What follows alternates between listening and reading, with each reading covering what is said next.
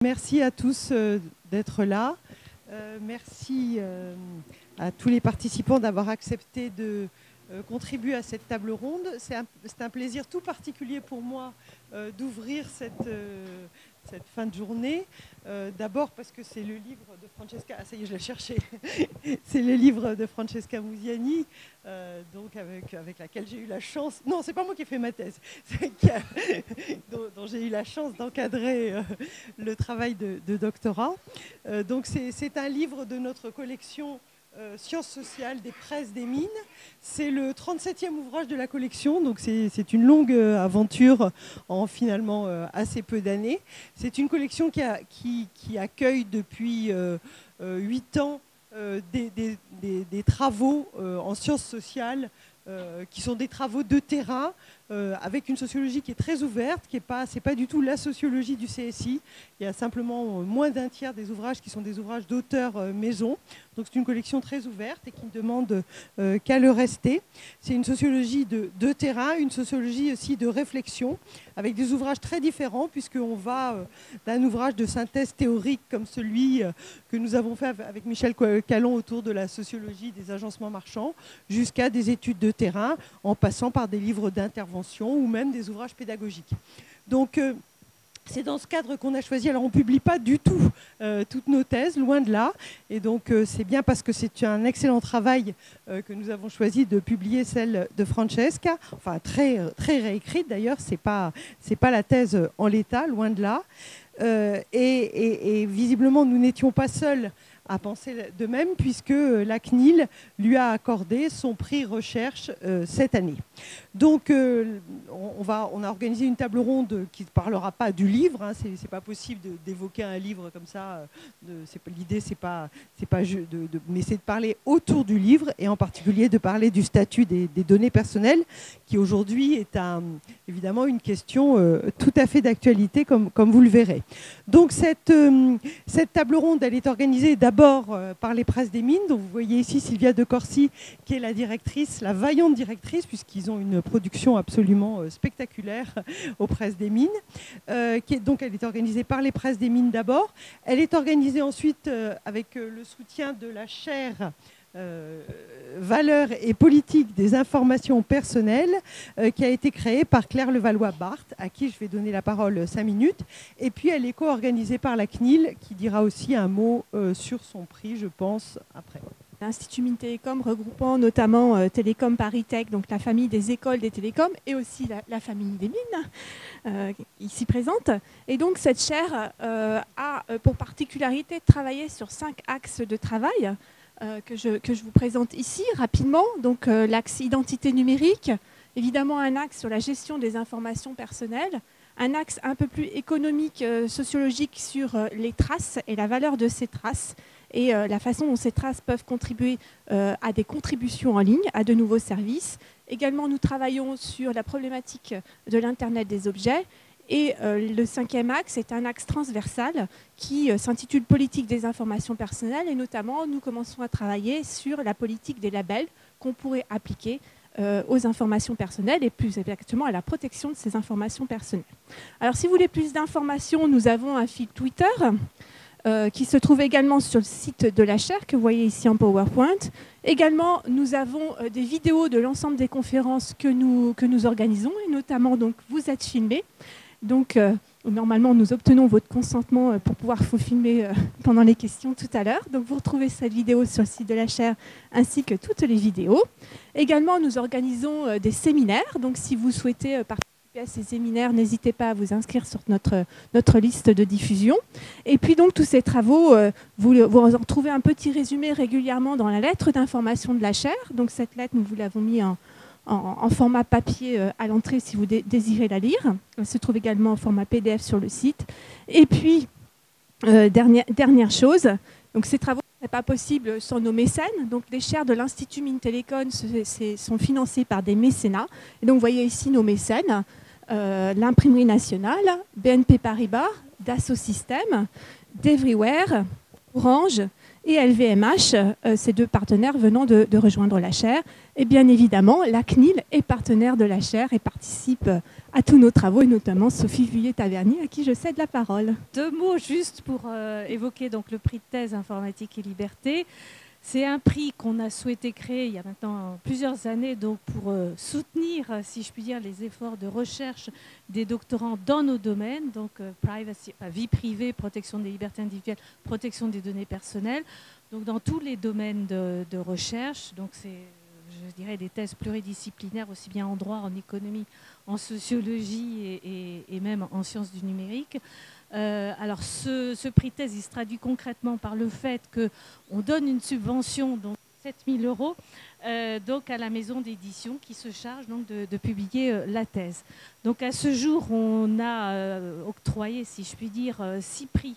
de thèse. Donc Francesca est, la dernière en date puisque le dernier prix a été attribué en 2013 pour le moment, nous avons suspendu provisoirement ce, prix et nous recherchons une nouvelle formule qui pourrait se traduire par le, dans le cadre de convention qu'on a avec l'INRIA par euh, l'idée de récompenser des articles scientifiques encore une fois sur le sujet de, la privacy.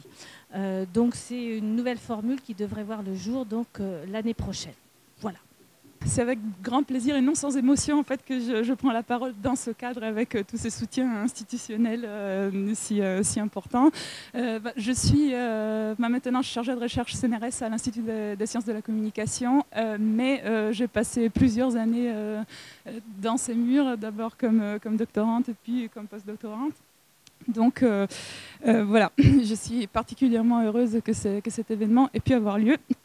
Et euh, donc, merci à vous d'être ici et d'accepter d'utiliser cette deuxième édition de, mon, de, mon, livre comme euh, une sorte d'excuse qualifiée pour euh, discuter de questions à l'apparence technique, mais dont il n'est plus question de mettre en question l'importance dans nos sociétés numériques. Donc, on parle de la protection de la vie privée, de la surveillance et de l'interaction entre différentes sources de, normativité dans la gouvernance de l'Internet. Donc, comme préambule à mes propos, je souhaite introduire une, notion, celle d'architecture de réseau et plus spécifiquement euh, celle d'architecture décentralisée ou pair à pair. Donc de quoi s'agit-il? C'est un modèle de réseau informatique euh, où les communications et les échanges se font entre nœuds qui sont dotés d'une responsabilité euh, égale dans le système et où les participants au réseau mettent à disposition une partie de leurs équipements et ressources informatiques qui sont nécessaires au bon fonctionnement du système. Euh, donc, comme, comme, vous savez, même si le trafic sur Internet fonctionne sur un principe de distribution généralisée qui euh, rappelle euh, sa symétrie, qui renvoie à sa symétrie historique, les grandes plateformes qui aujourd'hui proposent des services sur, sur Internet sont construites sur un modèle qui est très différent de ce, de ce modèle pair à pair. Euh, puisque celui-ci existe avec une logique d'organisation qui prévoit une concentration autour de puissants serveurs euh, ou centres de données qui habilitent euh, généralement l'accès à, à grande masse de contenu produit par les utilisateurs. Donc, dans, mon ouvrage, Nain géant, tiré de ma thèse, j'ai essayé de montrer, entre autres choses, parce que c'est un ouvrage qui ne traite pas que de, données personnelles, comment les architectures peer-to-peer sont susceptibles de proposer des pistes pour euh, euh, des approches novatrices à la protection des données personnelles, notamment en répartissant de manière qui ne sont pas celles des services les plus répandus aujourd'hui, des questions comme l'allocation du contrôle et de la responsabilité entre utilisateurs, fournisseurs de services, opérateurs et fournisseurs d'accès. Donc la, la décentralisation des réseaux s'inscrit euh, dans la recherche d'une voie possible pour euh, l'approche dite privacy by design, euh, dont j'imagine on aura l'occasion de reparler longuement avec nos intervenants. donc ce principe consiste à inscrire la, la, privacy dans l'architecture technique d'un système en réseau dès les premières phases de sa conception, grâce à un certain nombre de techniques d'anonymat, d'obscurcissement, de stockage décentralisé, d'attribution d'identités multiples et d'autres techniques. Donc cette approche était déjà au premier plan euh, dans les négociations du règlement général pour la protection des données, c'est-à-dire la future pièce maîtresse de la protection des données au niveau européen. Et bien sûr, elle acquiert des, couleurs politiques euh, ultérieures euh, au jour le jour. Euh, bien sûr, les révélations Snowden ont largement contribué à ça, mais euh, certains projets de loi euh, récents qui récemment cherchent à encadrer la, la, privacy et la surveillance dans les réseaux y contribuent également. Je pense qu'on en reparlera aussi. donc, des questions comme la décentralisation des services Internet comme voie alternative à la protection des données, la l'opportunité que la politique d'innovation européenne puisse soutenir activement euh, ce type d'architecture, euh, le possible avenir des services décentralisés à la lumière de leurs quelques succès retentissants, d'un taux d'échec très élevé et du poids des géants du net, tout ça, c'est des questions qui, euh, seront, je l'espère, euh, abordées par cette conférence débat. Et euh, j'aurai la chance d'être entourée ce soir d'éminents spécialistes dans le domaine de la protection de la vie privée sur Internet. Et je leur suis reconnaissante d'attribuer leur expertise variée à cette table ronde. Donc, dans le reste du temps qui m'est attribué ce soir, un petit quart d'heure, je souhaite introduire quelques idées autour de l'architecture technique comme outil politique au sens large et euh, situer l'interaction entre réseaux décentralisés et, vie privée dans le cadre de l'interaction toujours plus serrée entre liberté individuelle et usage détourné de l'infrastructure Internet. L'Internet qu'on connaît aujourd'hui est bien sûr euh, un réseau de réseaux où un pourcentage impressionnant de l'organisation et de la circulation des flux et de l'information passe, comme on le sait, par un nombre limité de, grandes entreprises. Euh, donc ces informations et ce flux sont profondément susceptibles d'être influencées par ces entreprises et par les institutions avec qui euh, elles entretiennent maintes fois ce qu'on appelait des liaisons dangereuses, euh, qui ont été par exemple euh, révélées par, par Snowden. Alors, cette convergence ou cette tendance à la concentration en fait, avait été anticipée, en dépit de sa symétrie initiale, par nombre d'ingénieurs et de développeurs euh, pionniers de l'Internet. Et notamment euh, Paul Baran, l'un des deux inventeurs des réseaux de communication de paquets qui auraient donné naissance euh, à l'Internet, prédisait depuis 1967 l'avènement d'un service informatique centralisé qui aurait offert euh, de la capacité de calcul de la même manière dont les fournisseurs d'énergie nous font parvenir l'électricité euh, dans nos maisons. Donc, dans ce modèle, on peut, ce modèle, on peut aisément retrouver l'équivalent dans, les empires informationnels de Google, d'Amazon et oui, des donc d'autres entreprises qui s'inspirent du paradigme de cloud computing. Alors, Paul Baran avait aussi prédit de façon intéressante une autre chose, c'est-à-dire que ces services nous offrent fondamentalement une impression de, grand confort euh, mais, euh, et de, grande immédiateté de, prise en main. Mais ceci se passe euh, plusieurs, le, plus des fois au détriment de, la, de, la vie, de la protection de la vie privée. Donc on, on, a tous eu affaire plusieurs fois désormais dans notre vie d'utilisateur d'Internet aux politiques de confidentialité et conditions d'utilisation euh, qui permettent euh, aux, entreprises de partager, euh, de faire toutes sortes de choses avec nos données personnelles, de les partager avec des institutions gouvernementales ou intergouvernementales ou avec des entreprises tierces. Donc c'est dans ce, cadre-là qu'a explosé la bombe de, juin 2013. Hein. donc on, connaît tous ces messieurs. Edward Snowden, prestataire de services extérieurs pour la NSA, euh, qui a fait éclater euh, au grand jour euh, à quel point les imposants silos d'information que, représentent les, GAFA ont permis depuis plusieurs années aux agences de renseignement de cibler avec précision leurs opérations tout en étant capables d'être à l'écoute d'une grande partie de la population mondiale. Donc, dans un contexte de grande défiance à la fois envers euh, les gouvernements et envers les entreprises que l'affaire Snowden a, provoqué, euh, l'une des solutions euh, qui, a été explorée, qui a été remise sur la table avec, avec force, a été celui de travailler un Internet qui soit plus semblable à celui des origines, donc moins centralisé et plus distribué. Et bah, il s'agit là d'un projet qui ouvre des opportunités et en même temps des défis de taille, parce que d'un côté, les solutions techniques décentralisées peuvent euh, potentiellement promettre à l'utilisateur un, contrôle plus fin sur euh, euh, certaines de ces données, permet de conduire des opérations sur sa machine avant que ces données ne sortent de l'ordinateur, grâce à un certain nombre de, techniques de chiffrage en local, par exemple. Mais aussi, euh, euh, ces, architectures posent un, parallèle des problèmes de prise en main des dispositifs pour l'utilisateur, d'utilisation effective et aussi de viabilité des modèles économiques associés pour les entreprises qui souhaiteraient l'adopter. Donc, euh, mon livre a été publié en première édition juste avant l'affaire Snowden et relate une enquête de terrain qui lui est bien intérieure. Par contre, l'une des choses que j'ai essayé de montrer est que donc le post-Snowden est loin d'être la première occasion euh, où le projet de la décentralisation a bénéficié d'un intérêt, d'un regain d'intérêt. Et euh, cependant, ce qui a été très intéressant à reprendre à l'occasion de cette deuxième édition est que les, questions de surveillance, l'affaire Snowden et, le reste, présentent le, projet de la décentralisation sous des nouvelles facettes et notamment relie très fortement euh, la question de la décentralisation à celle de la privacy by design, donc euh, la, protection de la vie privée dès la conception, principe techno-juridique euh, qui, intègre la privacy dès le début du cycle de vie de la technologie. Ce concept connaît actuellement un fort développement en Europe et dans le cadre de l'élaboration actuellement en cours de règlement sur la protection il s'agit donc d'un enjeu qui a une histoire euh, bien plus longue que, le début de, l'affaire Snowden.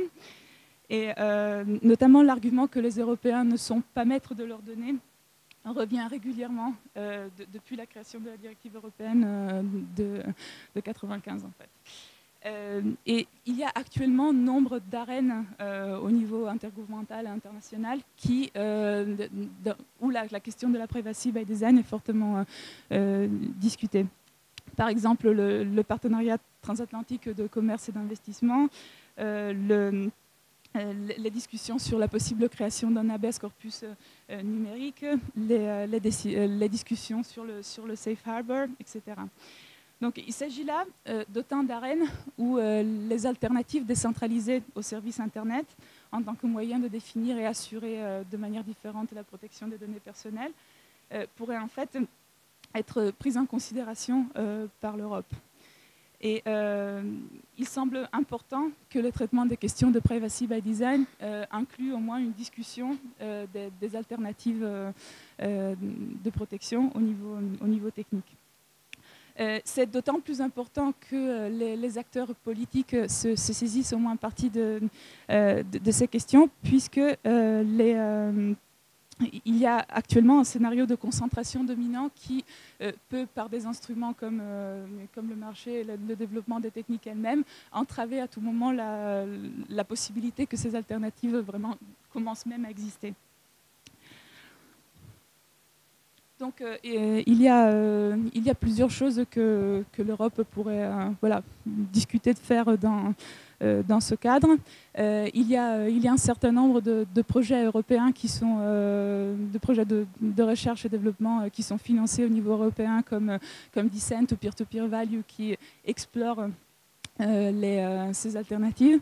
Euh, ce, serait, une bonne idée que ce programme de recherche continue et que, ça résout notamment ce qui est actuellement le grand problème de, ces projets, c'est-à-dire le, passage de, la théorie à, des prototypes qui, qui, marchent bien et qui, et qui puissent être pris en main rapidement par la suite.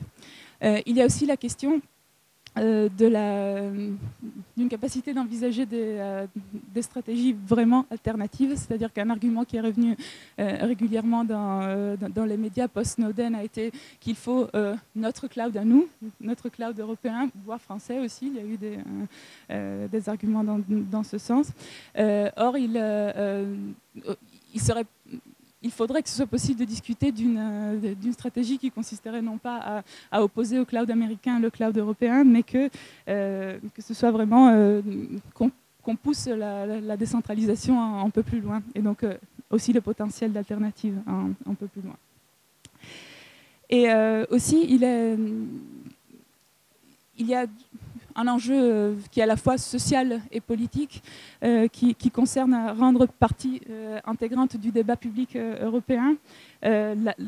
La, pluralité des, modèles, le fait que ces, modèles existent potentiellement et qu'en même temps il existe des forces de, marché, de politique et, de société qui tendent vers le quasi-monopole des services Internet Et il est aussi question de, comprendre vraiment quel est le, compromis entre contrôle sur ces données et responsabilité sur ces données et sur systèmes, le système où ces données circulent plus au large et, que donc les citoyens utilisateurs aient une partie active euh, dans la promotion de, ces alternatives.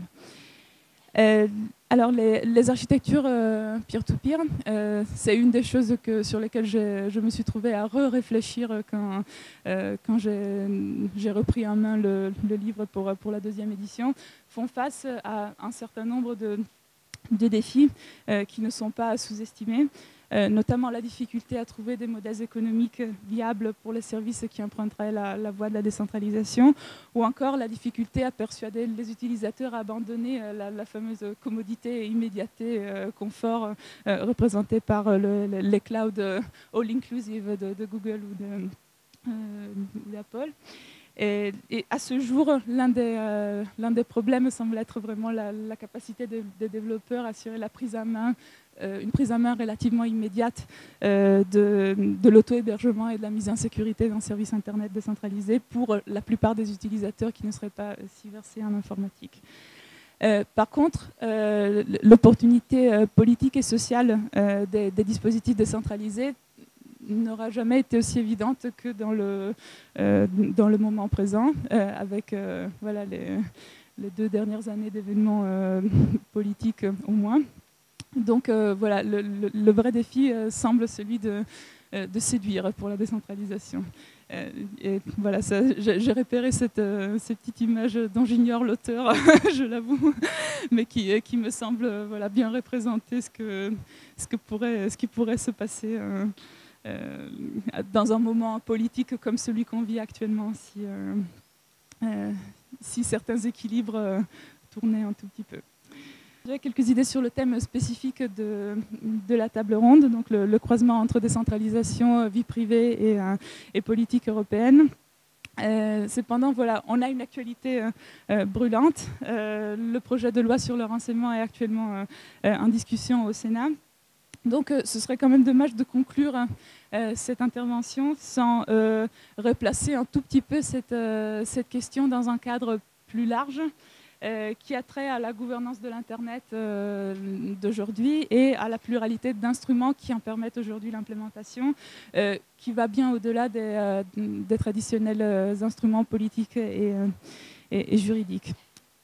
notamment, ce à quoi j'essaie de m'intéresser tout dernièrement, c'est des questions de c'est la manière dont les points de contrôle, euh, euh, les, goulots d'étranglement, les, points critiques de l'infrastructure Internet, en fait, deviennent des instruments de gouvernance à part entière. ils sont, donc, ils sont parfois utilisés comme instruments de gouvernance pour des fonctions qui n'en sont pas celles pour lesquelles ils ont été euh, créés. Donc, par exemple, les, les noms de domaine qui sont, qui sont utilisés pour euh, voilà, bloquer pour euh, bloquer l'accès à des contenus euh, spécifiques. donc il, y a, il, y a, il, y a, de plus en plus des questions de, de ce qu'on a appelé avec ma collègue Laura Denardis gouvernance par l'infrastructure ou le tournant de l'infrastructure dans la gouvernance de l'Internet. Donc les technologies de gouvernance de l'Internet sont utilisées comme instrument de gouvernance. La gouvernance, ce n'est pas que euh, le fait de gérer ces infrastructures, mais aussi de les mobiliser à des fins politiques.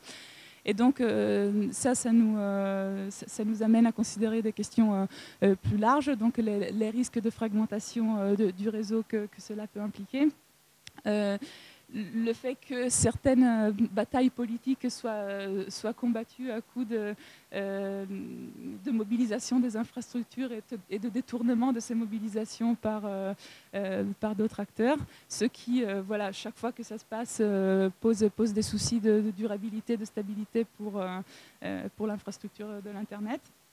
Et, aussi, ça met pleinement en, relief quel est le rôle de, des intermédiaires économiques de l'information aujourd'hui sur, sur l'Internet. Donc on, voit ça, on voit ça avec, le, avec le droit à l'oubli et, avec le rôle de, Google dans cette, dans cette controverse. on, voit ça dans les, dans les kill switch qui, qui, sont mandatés par certains États à des opérateurs d'infrastructures, hein, comme c'était le cas en Égypte ou, ou en Libye. Euh, et, enfin, bien sûr, on, voit ça euh, on voit ça chez nous avec les, débats autour euh, des boîtes noires et des sondes qui sont installées à des points critiques de l'infrastructure Internet à des fins de, prévention du, terrorisme. On en reparlera. Donc, pour, pour conclure, juste dire, voilà, ça c'est une image d'une tour de Babel, gouvernance de l'Internet, qui avait été élaborée il y a quelques années par euh, euh, l'organisation euh, Diplo Foundation.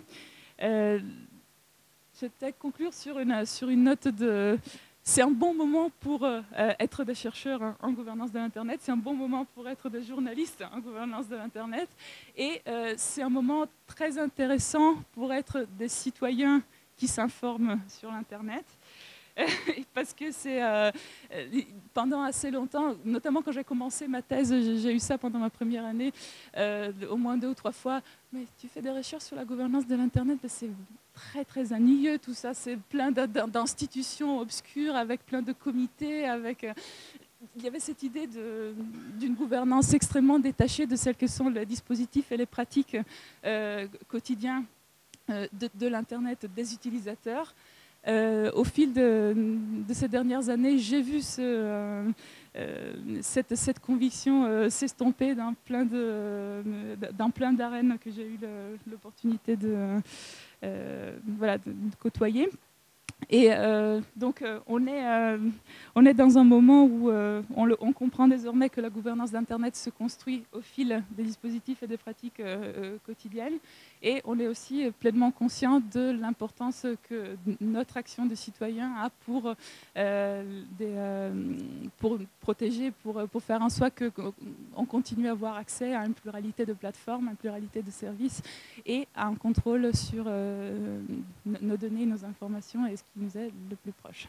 J'imagine qu'on va discuter de tout ça. J'ai hâte d'en débattre avec vous pendant l'heure qui suit et je vous remercie de votre attention. Nos invités sont d'abord Philippe Aigrin, dont la présence s'imposer presque, euh, puisqu'il est bien connu euh, pour son combat en faveur de l'Internet euh, comme bien commun, dont il a rendu compte en particulier dans son livre Cause commune.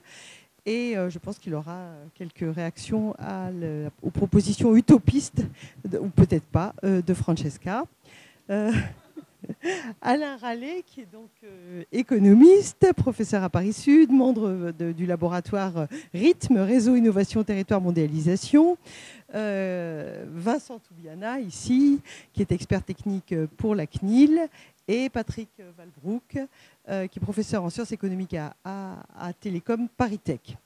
Alors, euh, je vais commencer, bah, je, vais, vous donner la parole. Hein. L'idée, c'est de la faire circuler et aussi d'interagir avec la, salle.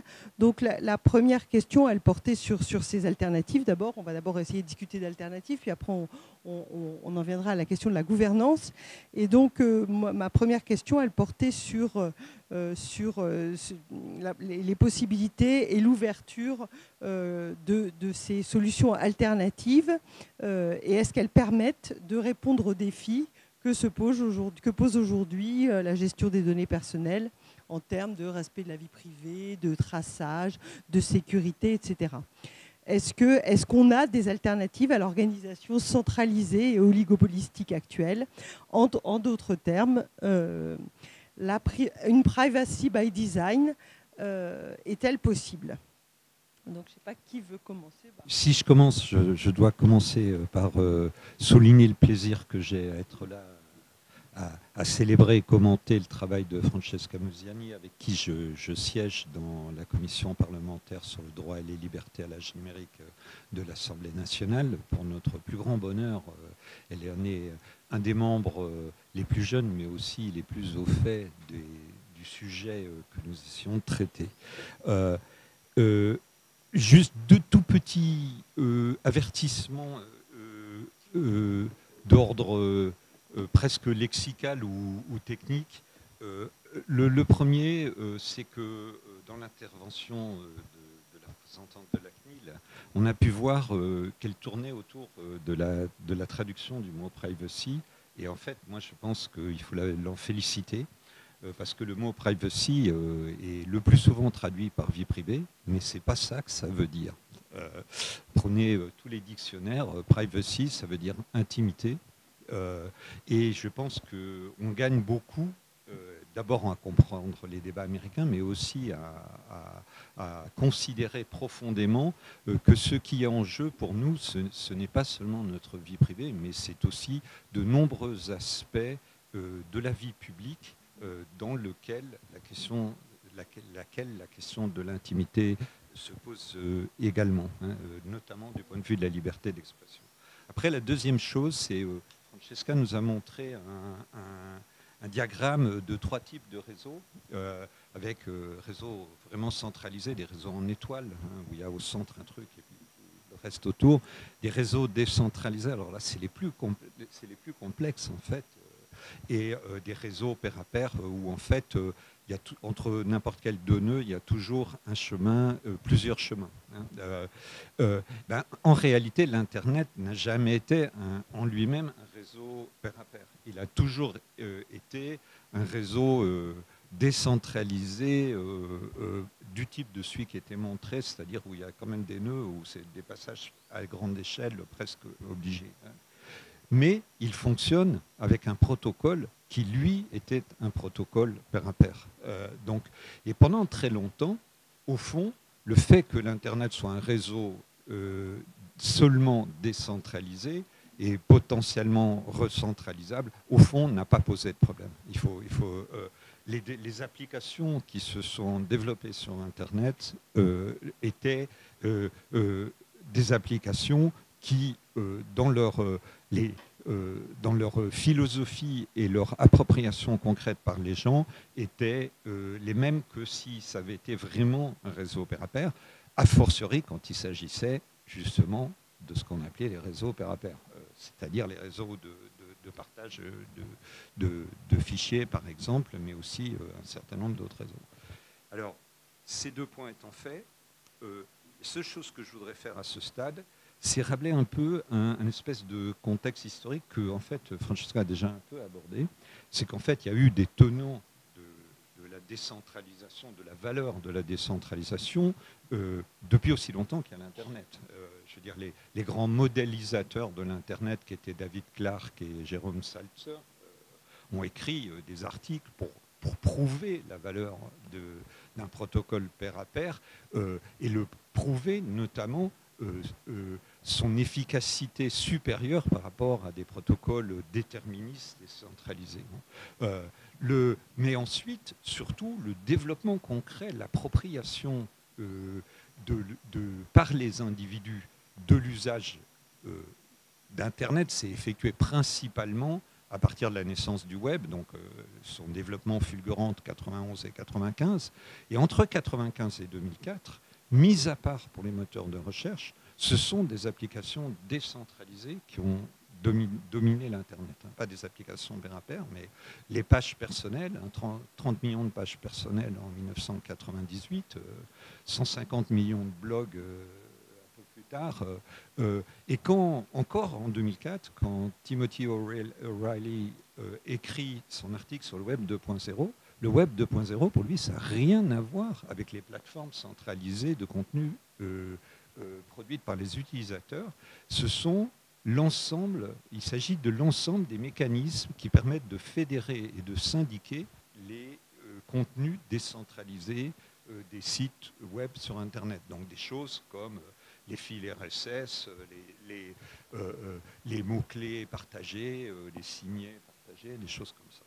Alors, on a assisté, ça c'est vraiment quelque chose qui, dont on a du mal à se remettre, en fait, à une, sorte de, de contre-réforme assez fulgurante avec le fait que dans un monde où seuls les moteurs de recherche, et pour des raisons essentiellement fonctionnelles et techniques, étaient fortement centralisés, on a vu apparaître une centralisation massive de toute une série de services, l'hébergement de médias, euh, l'interaction de communautés entre les membres de communautés. Hein. donc, on avait, puis ce qui est devenu le modèle des, réseaux sociaux. Donc, on a eu les, l'hébergement des médias, les médias sociaux et les réseaux sociaux. et quand ça s'est passé, euh, il y a une sorte de sidération, en fait, euh, y compris euh, du, monde militant de l'Internet distribué. et il a fallu attendre près de trois ans, 2005, à l'Open Source Conference de 2007, pour que dans un débat assez confus et, animé entre Eben Moglen et Tim O'Reilly, le problème commence à être vraiment posé des dangers que faisait courir euh, la, centralisation et de quels, étaient les, quels étaient les remèdes possibles à la centralisation. Et au moment où ça s'est passé, il faut souligner que ces dangers n'étaient pas du tout uniquement des dangers portant sur la capture des données par les acteurs. Le vrai danger qui était souligné, c'était celui de la dépossession des individus du devenir des applications et produisaient. Euh, donc le, vrai danger est un, danger euh, euh, de, disons, de, destruction ou de canalisation du potentiel de développement humain ouvert par la capacité des individus à définir de nouvelles formes de, créativité ou de nouvelles formes d'interaction sociale. Et puis, très peu de temps après, 2008, parce que bon, Snowden, c'est cinq ans plus tard, mais en 2008, le, la loi qui a permis euh, le développement fulgurant des technologies, des, programmes de surveillance, euh, elle date de 2008, et les alertes datent de 2008. Et les alertes euh, faites par des gens qui, comme nous aujourd'hui, ont été traités de paranoïaques à l'époque, même s'il s'agissait des plus hauts responsables de la, de la NSA comme euh, William euh, Binet. Donc, à très rapidement, euh, on a vu, on a découvert l'existence d'un partenariat public-privé planétaire de surveillance des activités suspectes. Alors, le,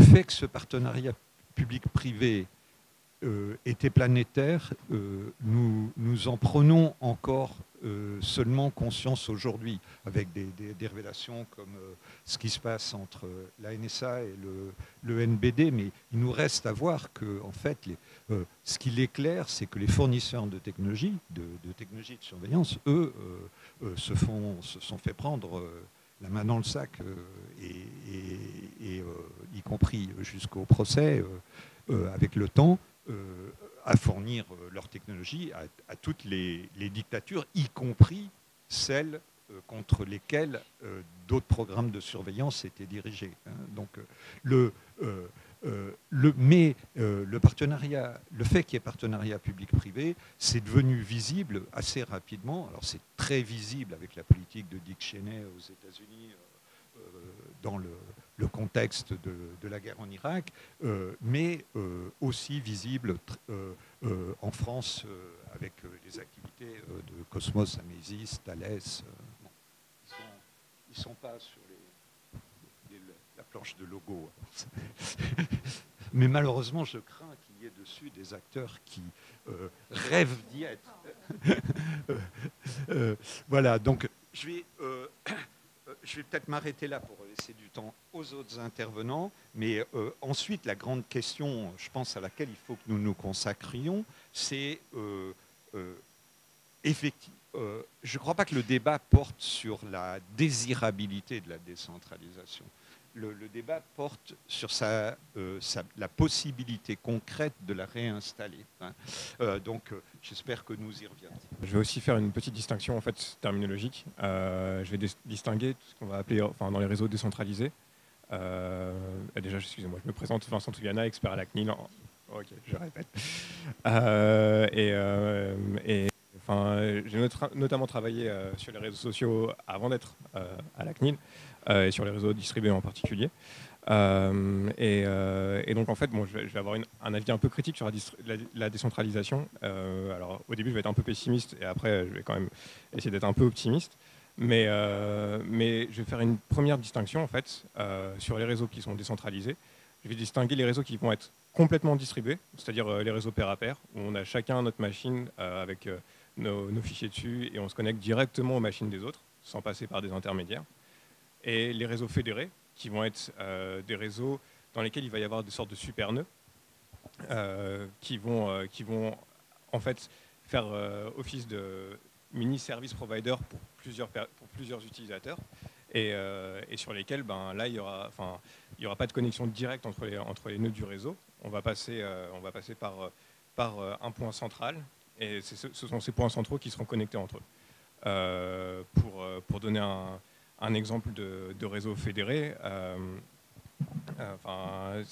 l'avantage des réseaux fédérés, c'est qu'il y a une interopérabilité. Et donc, du coup, l'avantage des réseaux fédérés, c'est qu'il y a quand même un aspect compétition, et on peut communiquer avec les nœuds des différents, des différents sous-réseaux sans qu'il y ait un acteur central, en fait.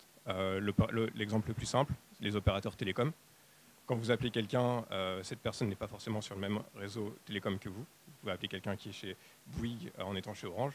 Euh, et, donc ça, c'est un réseau fédéré. Et donc sans qu'il y ait un, acteur principal, central et unique dans, l'architecture. donc ensuite, pourquoi est-ce que je suis un peu pessimiste par rapport au réseau décentralisé et en particulier par rapport au réseau complètement distribué? Euh, c'est qu'on l'a vu, hein, les, exemples qu'il y a eu euh, euh, de réseaux complètement distribués n'ont pas toujours rencontré un grand succès. dans, l'ouvrage, on voit l'exemple de D-Link et de Drills qui, au final, étaient partis sur... Donc, c'était des modèles qui étaient complètement distribués, qui, qui, ont essayé d'avoir une approche un peu hybride, de se refocaliser sur, sur, une architecture un petit peu hybride avec, en remettant des serveurs et qui ont dû au final petit à petit se recentraliser et reprendre, euh, reprendre un aspect euh, enfin, complètement central, en particulier dû euh, ben, au problème qui était mentionné précédemment, c'est-à-dire l'immédiateté. Quand, quand, vous êtes un utilisateur sur un réseau social, vous voulez pouvoir accès, avoir accès directement à l'information très rapidement. et si le réseau est complètement distribué, il se peut que le nœud avec lequel vous voulez communiquer ne soit pas directement connecté, ou ne soit pas connecté au moment où vous voulez, on voulait être en contact avec lui. Euh, donc, les réseaux distribués, d'un point de vue, euh, utilisation, c'est beaucoup plus compliqué que les réseaux simples, euh, que les réseaux centralisés.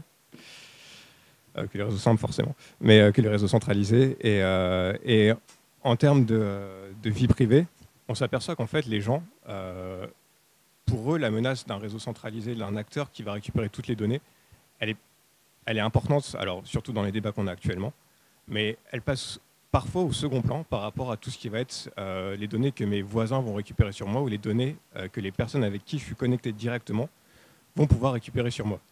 Euh, le fait que vous partagiez quelque chose avec Facebook, au final, quand vous êtes sur Facebook, ce à quoi vous prêtez le plus d'attention, en général, c'est le fait que ben, vous regardez quels sont les paramètres de partage que vous avez avec le public, avec vos amis, mais pas trop quelles sont les informations auxquelles Facebook a accès directement.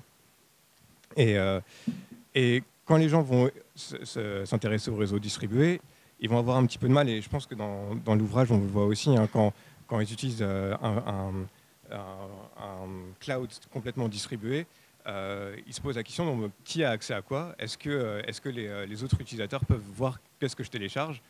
C'est le cas notamment dans BitTorrent. donc il y, y, a toutes ces questions-là qui se posent. Euh, et au final, les gens, quand on leur parle de vie privée, ils vont surtout s'intéresser à la problématique par rapport à leur père, plus que à la problématique par rapport euh, à, un, service provider. La deuxième, enfin, le deuxième euh, point en termes de vie privée qui, que, posent les, réseaux distribués, c'est par rapport aux métadonnées. Si vous avez un réseau qui est complètement distribué, à chaque fois que vous allez vous connecter à quelqu'un pour échanger avec cette personne, vous allez forcément communiquer avec l'adresse la personne avec laquelle vous voulez vous connecter. Donc euh, vous allez forcément devoir envoyer, si le réseau est complètement distribué, vous allez forcément devoir aller adresse, de votre adresse IP euh, à l'adresse IP de, la personne que, vous voulez euh, contacter. Et ça, ça permet forcément de savoir, ben, de, reconstruire le graphe du réseau en fait. Quand vous, êtes, euh, quand vous vous connectez à Facebook, vous connectez toujours à Facebook, et après, à partir des adresses IP, il est impossible de savoir avec qui vous avez communiqué sur Facebook. Donc voilà, ça c'est juste deux, problématiques. Alors, euh, bien sûr, après, sur les réseaux qui sont distribués, il y a des alternatives, et généralement, ils, prennent en compte ce genre de problème. Ils vont soit ajouter des nœuds, euh, intermédiaires qui vont cacher euh, un, petit peu la communication.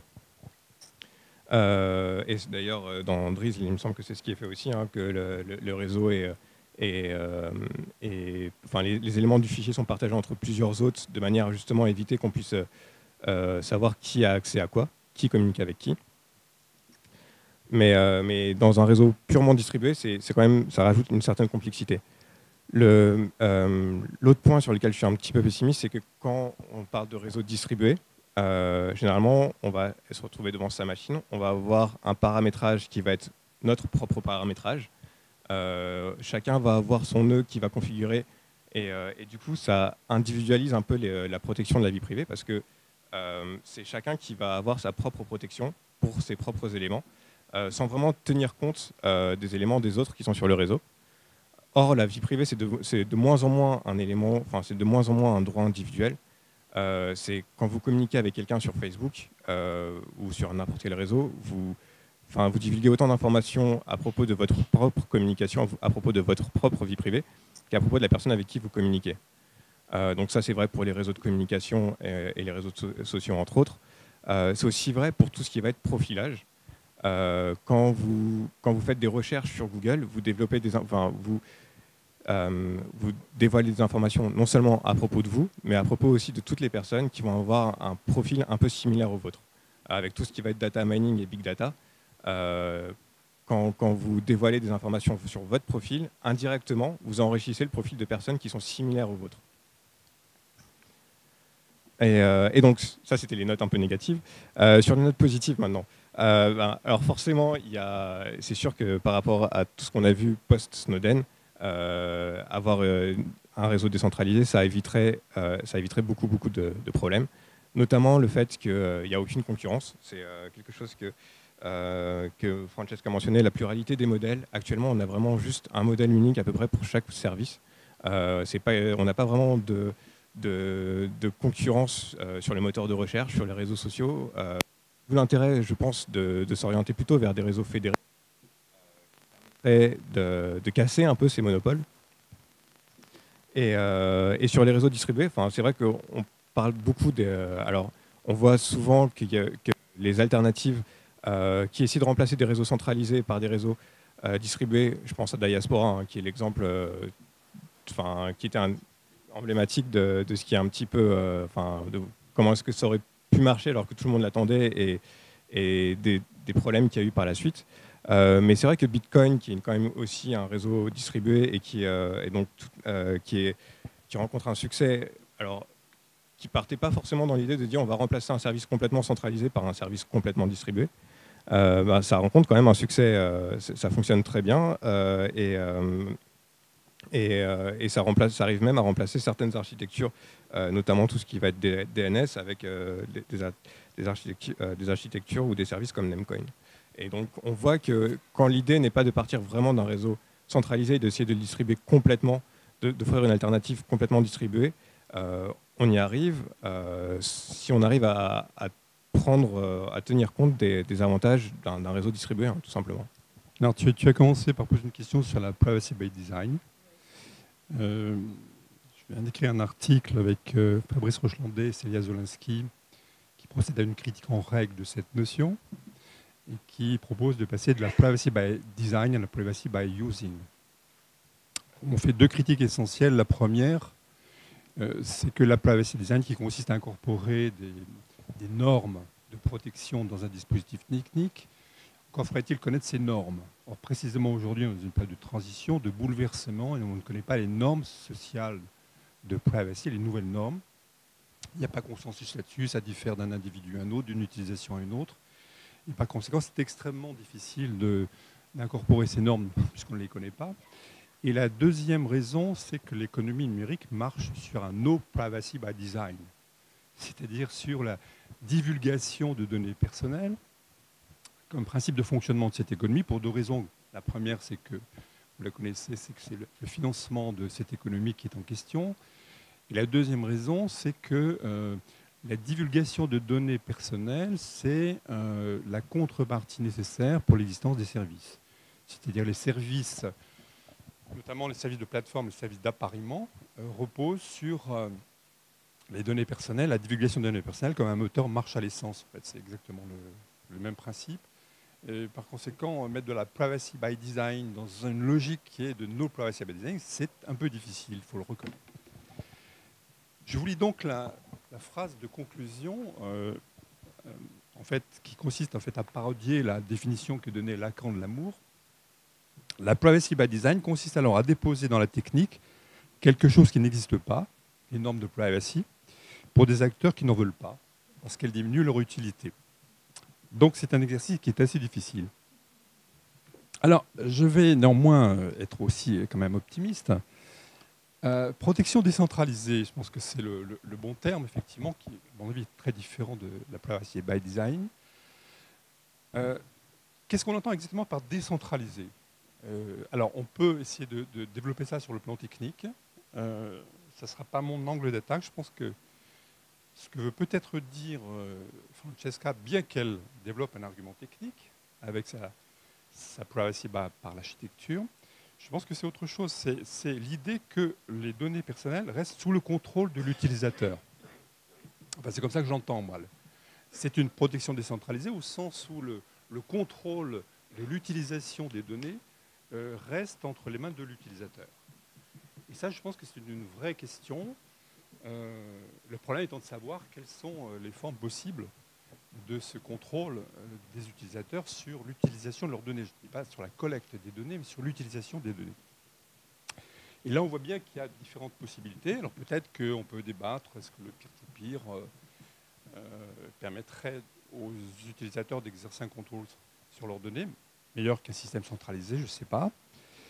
Pour moi, en fait, il y, a différentes possibilités. Par exemple, on travaille avec des informaticiens qui euh, sur la question du, je ne sais pas si on peut appeler ça le dossier médical partagé ou le cahier médical partagé, dans l'expérimentation dans, le, département des Yvelines, je crois. Enfin, l'idée, parce que pour les informaticiens, j'ai bien compris, en fait, il n'y a de sécurité que matérielle. C'est-à-dire que dès que vous assurez la sécurité par un logiciel, enfin, ce qu'un logiciel peut faire, un autre peut le défaire. Euh, voilà, donc on travaille sur l'idée que, euh, les individus, finalement, est une clé USB qui, euh, donc, a une sécurité matérielle sur laquelle donc, seraient stockées leurs données et sur lesquelles également serait un logiciel qui euh, leur permettrait de contrôler l'accès à ces données, qui euh, utilisent ces données, etc. ça, c'est une possibilité. Une deuxième possibilité, des startups aussi travaillent là-dessus, c'est d'avoir le même dispositif, mais au lieu que les, les données soient sur un serveur personnel, elles seraient sur un serveur euh, donc chez un hébergeur, euh, mais euh, la personne garderait le contrôle de l'accès de ces données. Et puis, vous avez encore d'autres formules. Par exemple, les données, enfin, le contrôle des données serait géré par un tiers, mais on aurait auparavant défini quelles sont, quelles, sont ses préférences en matière de, préférences générales en matière d'utilisation des données, du risque acceptable, et un tiers finalement réaliserait l'arbitrage nécessaire, un peu comme aujourd'hui les banques euh, euh, arbitrent euh, les actifs financiers, une fois que vous avez défini un niveau de risque prudent, équilibré, etc. Bon, je pense qu'il y a différentes formes de protection décentralisée en tant que, je la définis par le contrôle des utilisateurs. Alors après, il y a un autre problème, je pense qu'on reviendra après sur la question de l'implémentation, effectivement, mais il y a un autre problème qui est quand même ça pose directement le problème des capacités cognitives des utilisateurs. Finalement, c'est la problématique de l'empowerment, cette idée que les, utilisateurs ou les consommateurs euh, devraient garder le contrôle de leurs données. Est-ce qu'ils en ont la capacité? C'est un peu le problème qui est posé.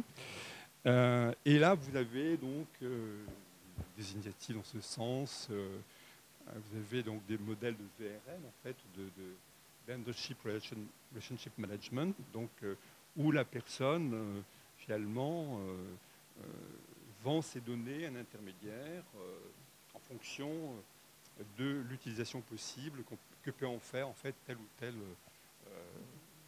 acteur commercial ou tel, ou tel acteur industriel. On travaille avec aussi un, acteur qui, qui, a lancé une plateforme dans ce domaine.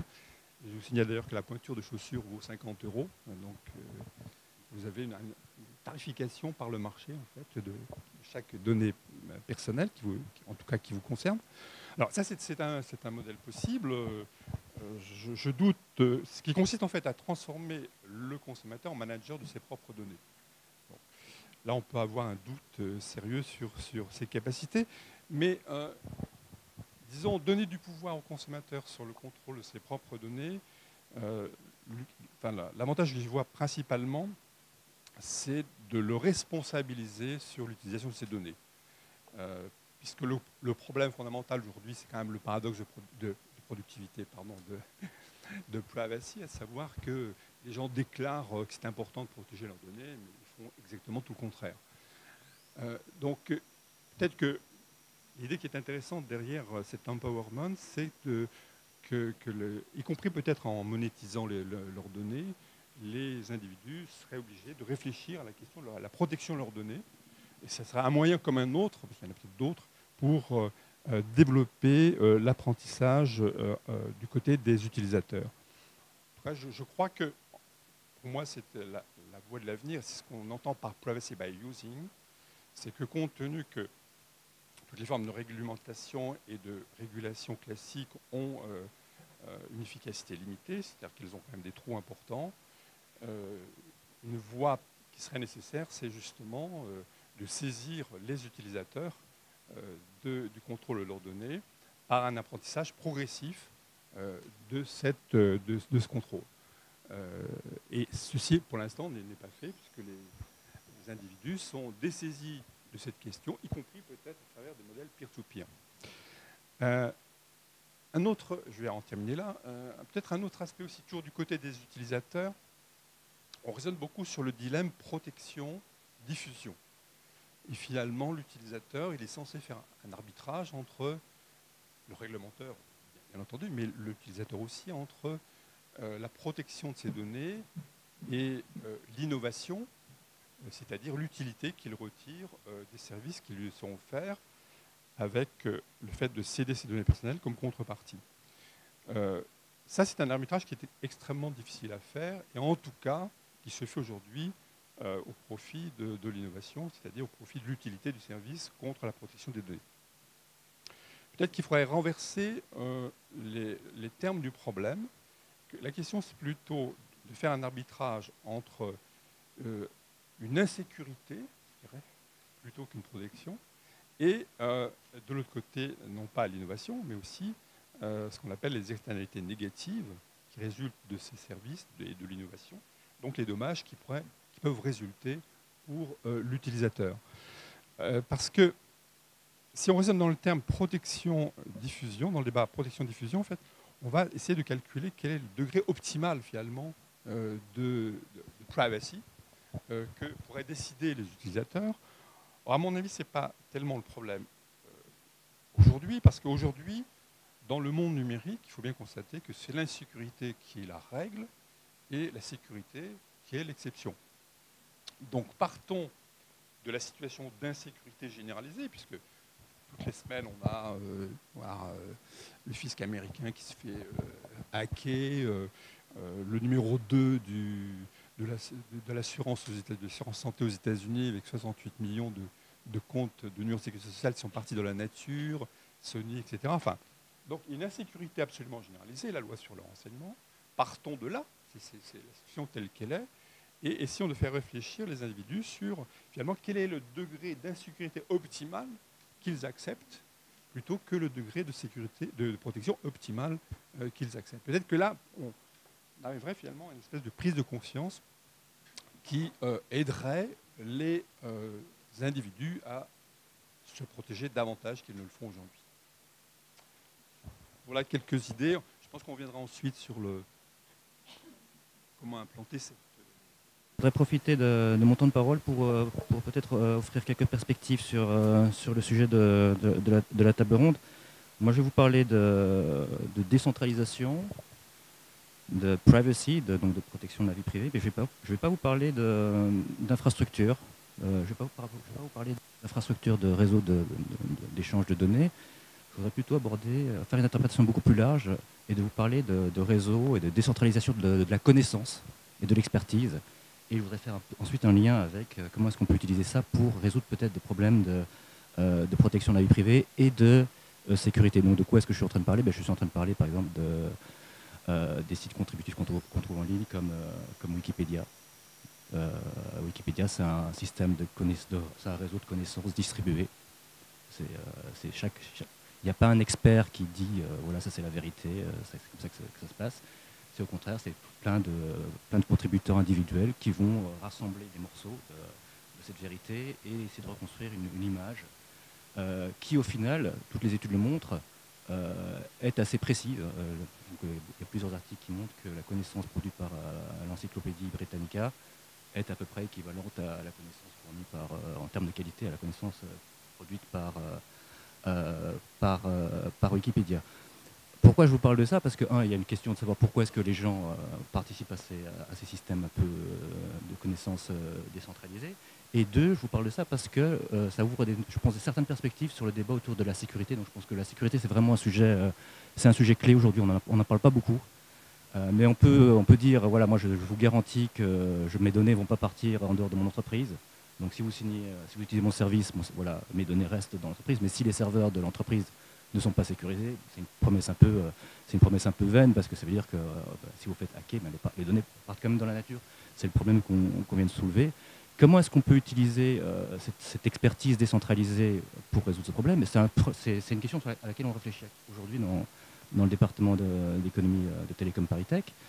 Euh, parce qu'aujourd'hui, qu'est-ce que c'est le problème de la sécurité? C'est un problème d'asymétrie d'information. C'est-à-dire que l'entreprise sait si elle a bien sécurisé ses serveurs, si elle a pris, adopté toutes les, euh, tous les filtres et les, firewalls et les pare-feux pour sécuriser l'accès aux données.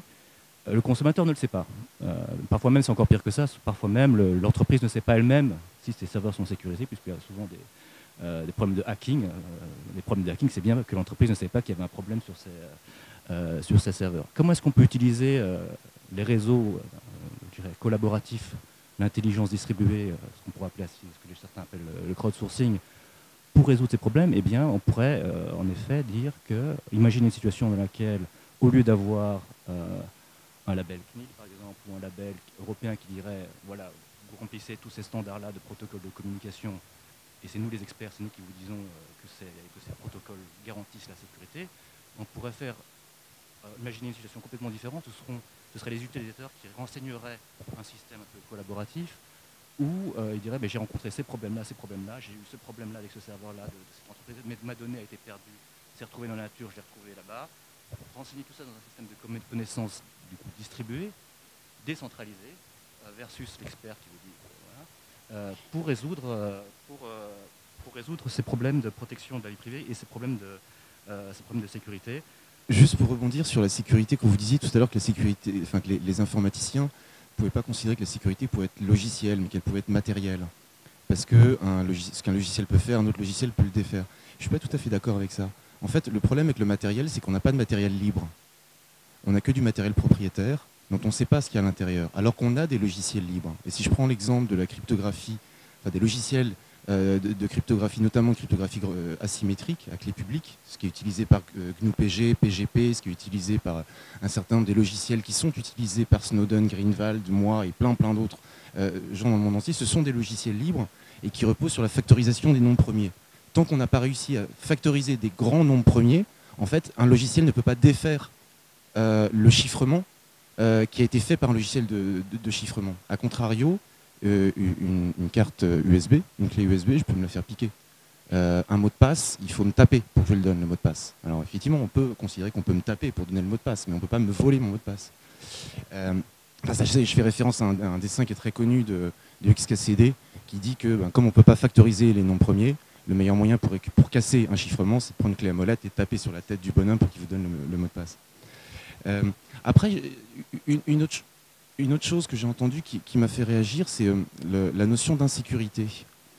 Euh, je pense qu'il y a un sentiment d'insécurité, que le sentiment d'insécurité a été accentué par Snowden et l'effet gueule de bois qu'on a eu euh, avec l'ampleur des, révélations de Snowden.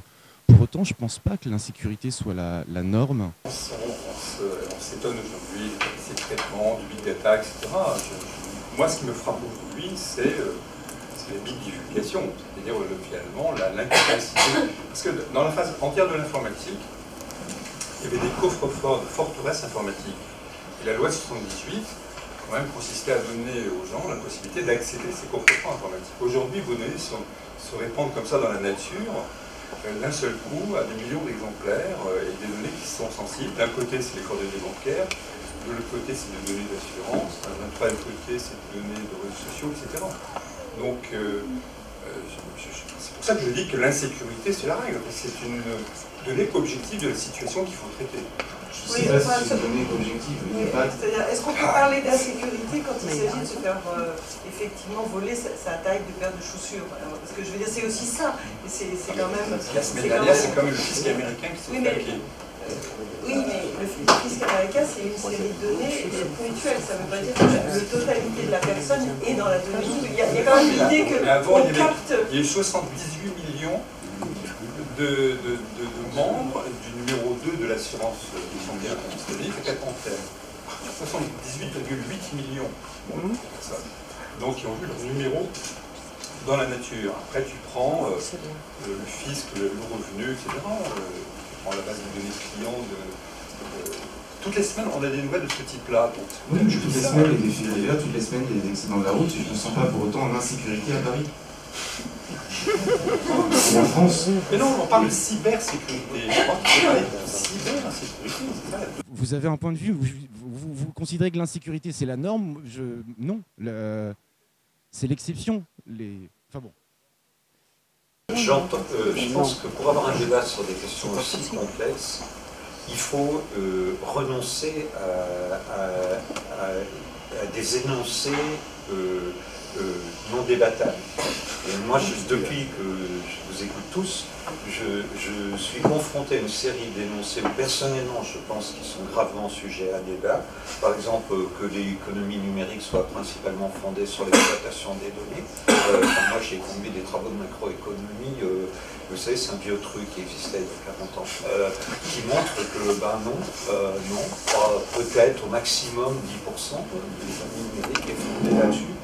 Euh, euh, que la sécurité, on ne parlerait pas de ça, alors qu'on parle que de ça. Euh, je veux dire, c'est que, et même il faut tordre les trucs pour dire, bah, veux dire 78 millions de données, les, problèmes sont d'ailleurs liés, hein, parce que 78 millions de données piquées par quelqu'un, évidemment ce qui va décider de la gravité des conséquences, ça va être la capacité de cette personne à les vendre.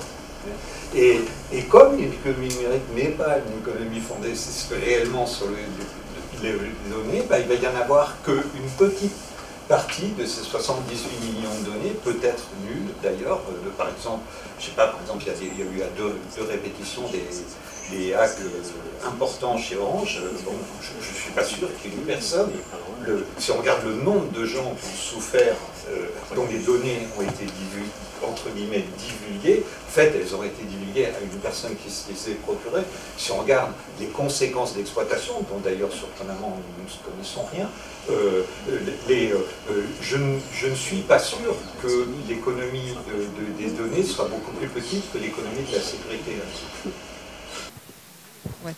Ça va faire le lien avec ce que dit Philippe Grin. Je voulais réagir par rapport au numéro de réseau dans lequel Francesca et, Alain, vous avez écrit de contribution. Donc, euh, Francesca, tu, nous as parlé des architectures décentralisées un petit peu comme une espèce de modèle, de, modèle possible parmi les différentes pistes de privacy by design. Et puis Alain Rallet euh, a rappelé qu'ils avaient fait dans leur article une critique, euh, une critique très forte de la privacy by design au profit de la privacy by, using. Alors, tu nous as dit qu'il y avait une des, une des, raisons principales effectivement de, critique de la privacy by design dans votre article, c'était de dire que justement l'économie numérique marchait sur le no privacy. Alors Philippe Aigrin vient de nous dire euh, finalement euh, les données c'est peut-être 10% de l'économie numérique, mais si je m'intéresse, bon, mais même si je m'intéresse juste à ces 10%, moi il y a quelque chose euh, qui, me, qui me gêne profondément, c'est que vous partez d'un postulat qui est que ça n'est pas un avantage concurrentiel pour les entreprises de faire de, la privacy. Or, moi, je crois beaucoup, alors peut-être que je me trompe, hein, mais l'intuition que j'ai très forte quand même, c'est qu'il va y avoir, je ne sais pas à quelle échelle et tout ça, peut-être que je suis une grande naïve et une grande optimiste comme d'habitude, euh, mais il va y avoir une espèce de prise de conscience à un moment donné et c'est un peu la phrase de Smith, euh, je n'attends pas euh, mon dîner du, boucher ou du boulanger, mais de son intérêt propre. Je crois beaucoup qu'il va y avoir des contradictions internes. À, une époque, on parlait des contradictions internes du capitalisme. Moi, je crois beaucoup aux contradictions internes du numérique.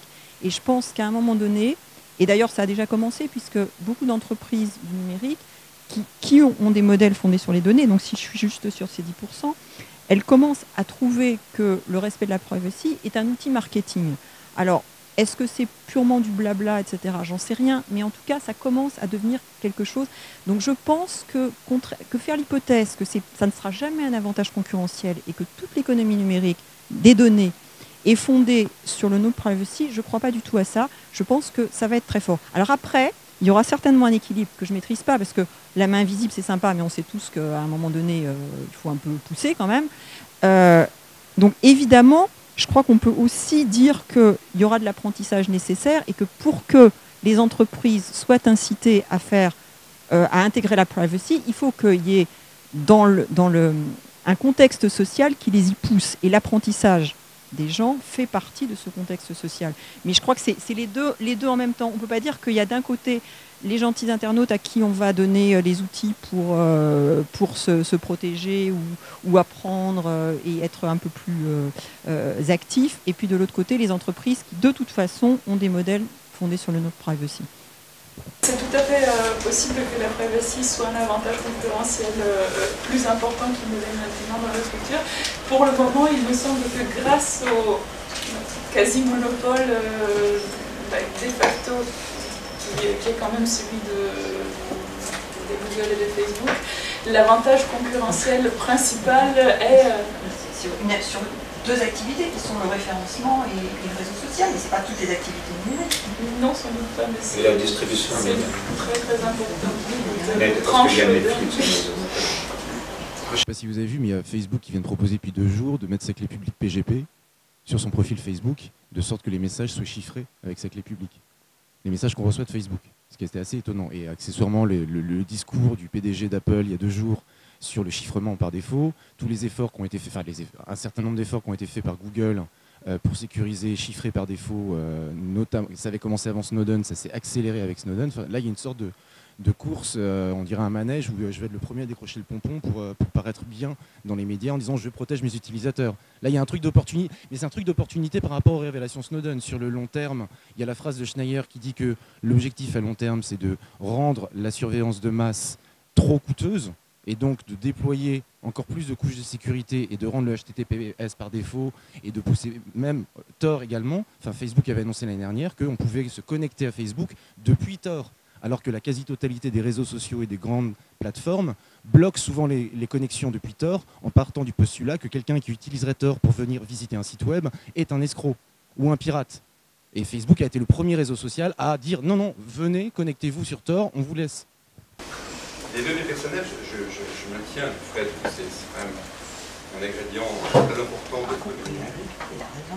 J'ai dit pour deux raisons. La première raison, c'est comme mode de financement il y a un certain nombre de grandes plateformes publiques. Ce n'est pas le seul mode de financement, il y a d'autres modèles dans le numérique, c'est le financement par l'audience. Euh, et la deuxième raison, c'est que la divulgation des données personnelles, c'est quand même euh, l'élément moteur euh, de tous ces services d'appariement qui, existent sur le web. C'est-à-dire que si on ne divulgue pas ces, des données sensibles sur soi-même, on n'a aucune chance de s'apparier avec quelqu'un d'autre c'est le, fondement des réseaux sociaux. En fait. Donc c'est pas du tout une éthique irrationnelle de la part des individus, elle est profondément rationnelle.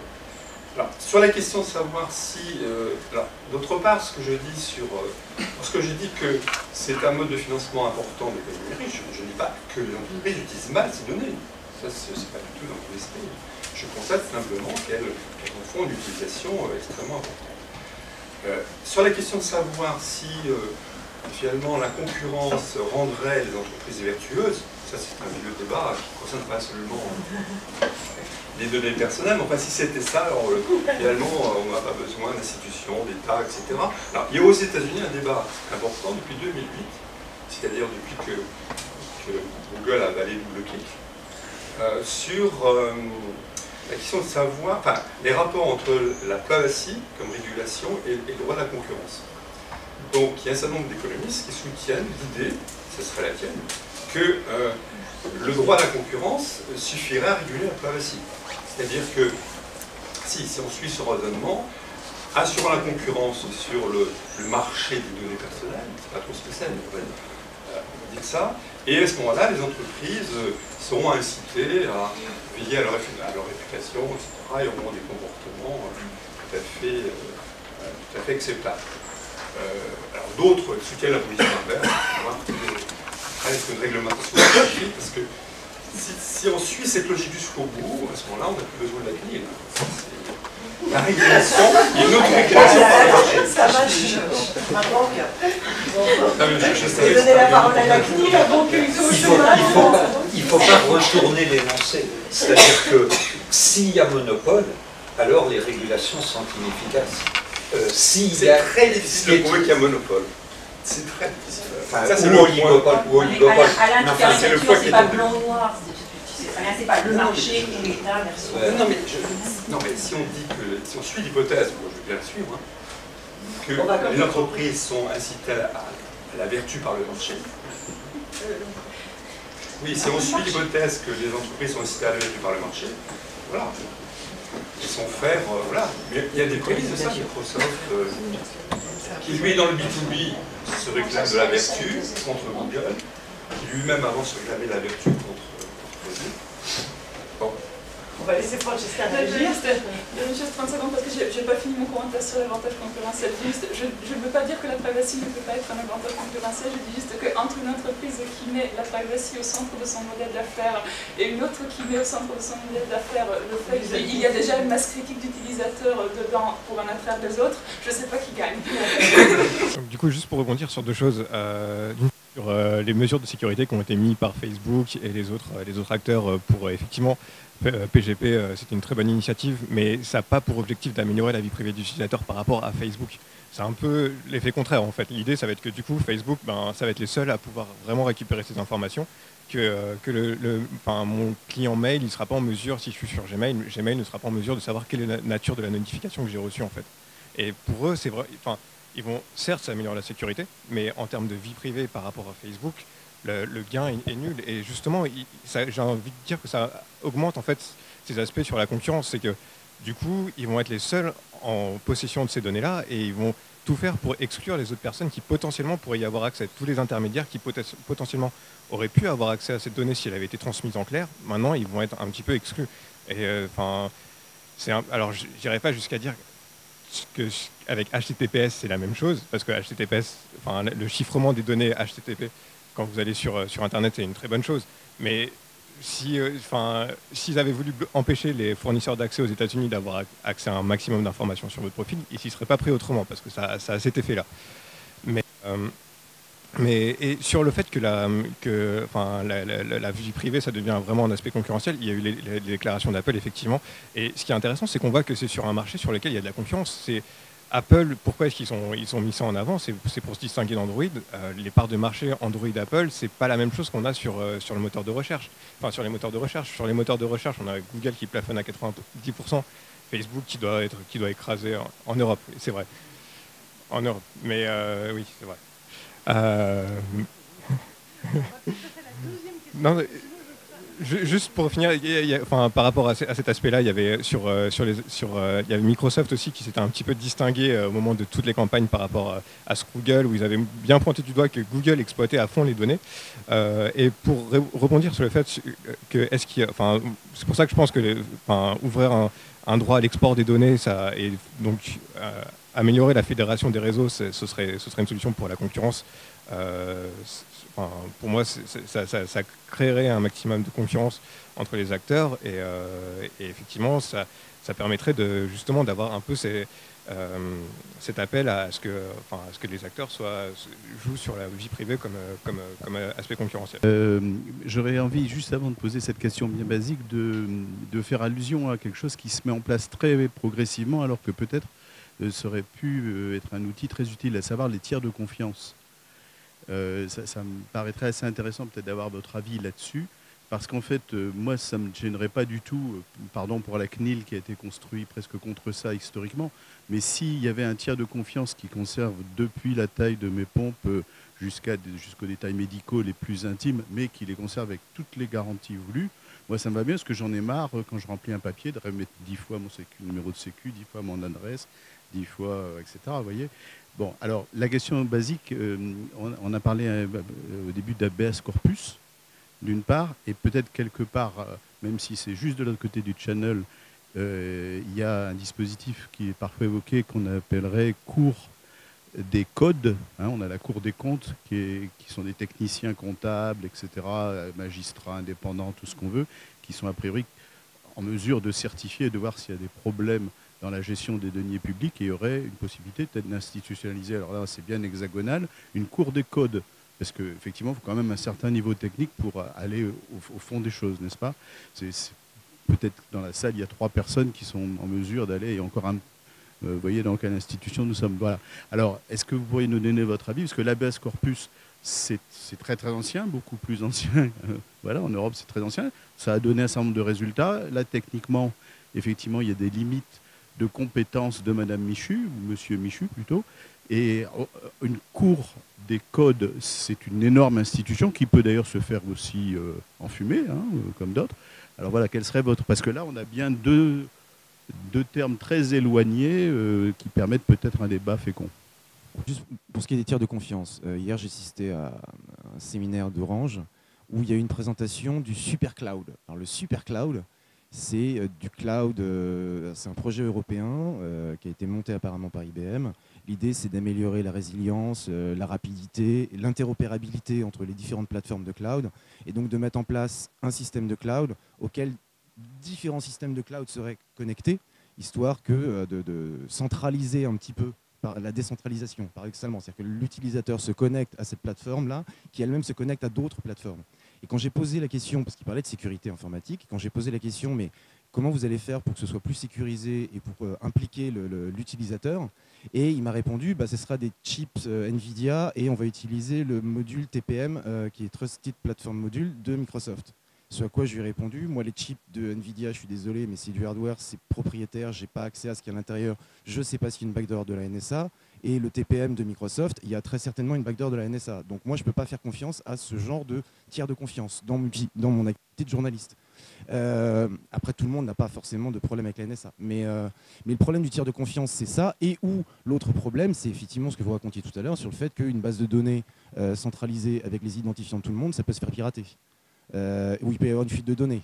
Donc le problème du tiers de confiance, oui, ça peut faciliter la tâche à quelqu'un qui effectivement ne, ne, se sent pas euh, suffisamment sensible ou euh, aware en matière de sécurité informatique pour le faire lui-même, mais ça ne veut pas dire que vous serez euh, forcément mieux sécurisé. Après, c'est clair que dans un grand nombre de cas, il vaut mieux faire confiance à des gens dont c'est le métier que laisser des gens qui n'y connaissent rien essayer de le faire par eux-mêmes. Euh, après, pour ce qui est du euh, la cour des codes, j'avais jamais réfléchi à ça. Euh, si ce n'est que ça me fait penser à, une conférence dont j'ai vu le compte rendu ce matin. C'était dans un des services de renseignement américains. Il y a quelqu'un de GitHub qui allait leur expliquer l'intérêt pour les administrations et même y compris pour les services de renseignement d'utiliser GitHub. Et il a fait un parallèle simple. logiciel propriétaire, il y a très peu de personnes qui regardent le code. Donc quand il y a une faille qui est découverte, bah, peu de personnes le savent. Et donc ça peut être exploité par des personnes mal intentionnées, que ce soit des services de renseignement ou des, euh, ou des criminels. C'est un logiciel libre, le code est ouvert. Donc là, il y a plein de gens qui travaillent sur ce code-là, qui le partagent. Quand on trouve une faille de sécurité, elle est en règle générale notifiée assez rapidement et corrigée beaucoup plus rapidement que ne le sont les failles de sécurité dans les logiciels propriétaires. Donc moi, je ne sais pas s'il faut mettre en place un cours des codes. Par contre, promouvoir le logiciel libre, le recours au logiciel libre, euh, notamment dans l'administration, oui, très clairement. Euh, pour améliorer le fonctionnement. Et puis, à la base, l'administration, c'est payé, enfin, ça appartient au peuple. Donc, un logiciel développé par l'administration devrait pouvoir être partagé. Enfin, c'est tout le mouvement également open data. maintenant, concrètement, cours des codes, qu'est-ce qui pourrait faire ça Aujourd'hui, il y a l'ANSI qui fait plus ou moins ça pour les opérateurs d'intérêt vitaux, les OIV, qui vérifient qu'ils ne font pas n'importe quoi. Donc ça, c'est notamment depuis la loi il y a, il y a deux ans. là, on va avoir la loi renseignement, donc on va avoir quelqu'un de l'ARCEP qui serait censé auditer le fameux algorithme euh, des services de renseignement. On attend tous avec impatience euh, le résultat de l'audit et la fuite de l'algorithme. Euh, je ne sais pas si il a été question de la loi renseignement pour l'instant ou. Bon, parce que quand je voyais, quand je voyais l'intitulé du, débat décentralisation et vie privée, je vais essayer d'être court parce que c'est pas forcément facile à expliquer, mais je pense qu'elle est très très mal débattue, ce projet de loi renseignement. Et concrètement, les fameuses boîtes noires, cet algorithme qui est censé donc repérer les comportements suspects, ne pourra pas surveiller l'intégralité de l'Internet en France et l'intégralité de ce que font les Français. Pourquoi? Parce qu'Internet en France est décentralisé. Parce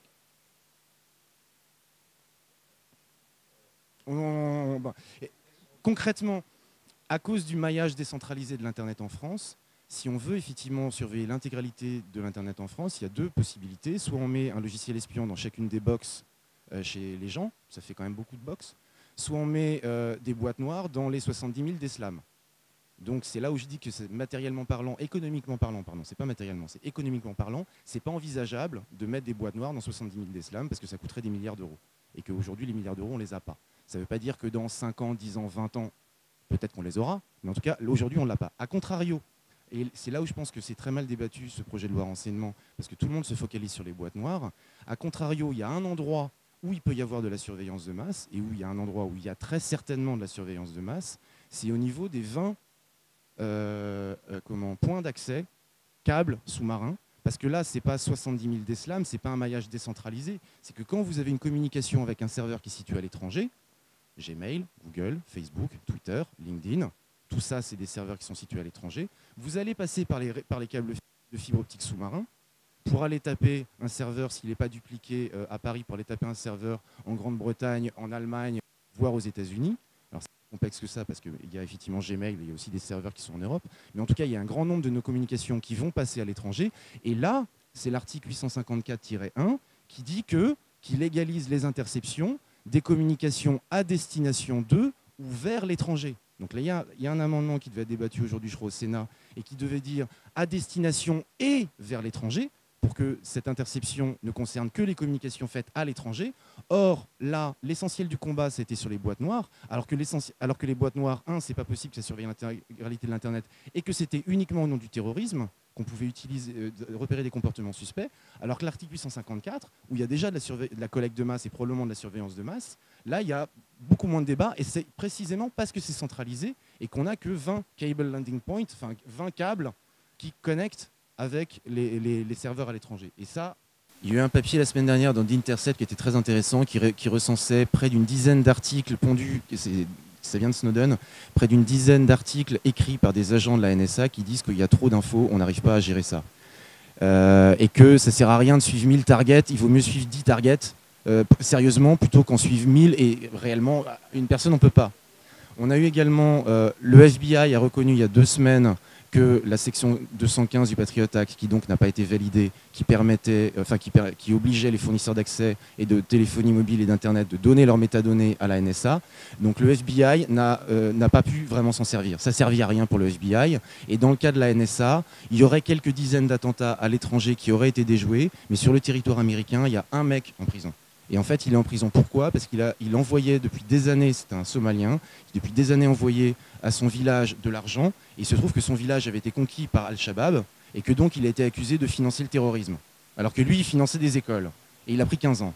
C'est le seul exemple qui a été reconnu. Et quand je dis exemple reconnu, c'est que euh, suite aux révélations Snowden, il y a eu des commissions d'enquête et donc les parlementaires ont posé des questions à la NSA. Prouvez-nous que ça sert à quelque chose. Au début, ils ont dit, ils ont sorti des chiffres et après, à force de, questions, ils ont donné ces exemples-là. Et c'était les. Alors, il y en a peut-être d'autres, mais en attendant, c'est clair que la surveillance massive telle que le peut pratiquer la NSA et le GCHQ n'a pas montré que c'était excessivement efficace.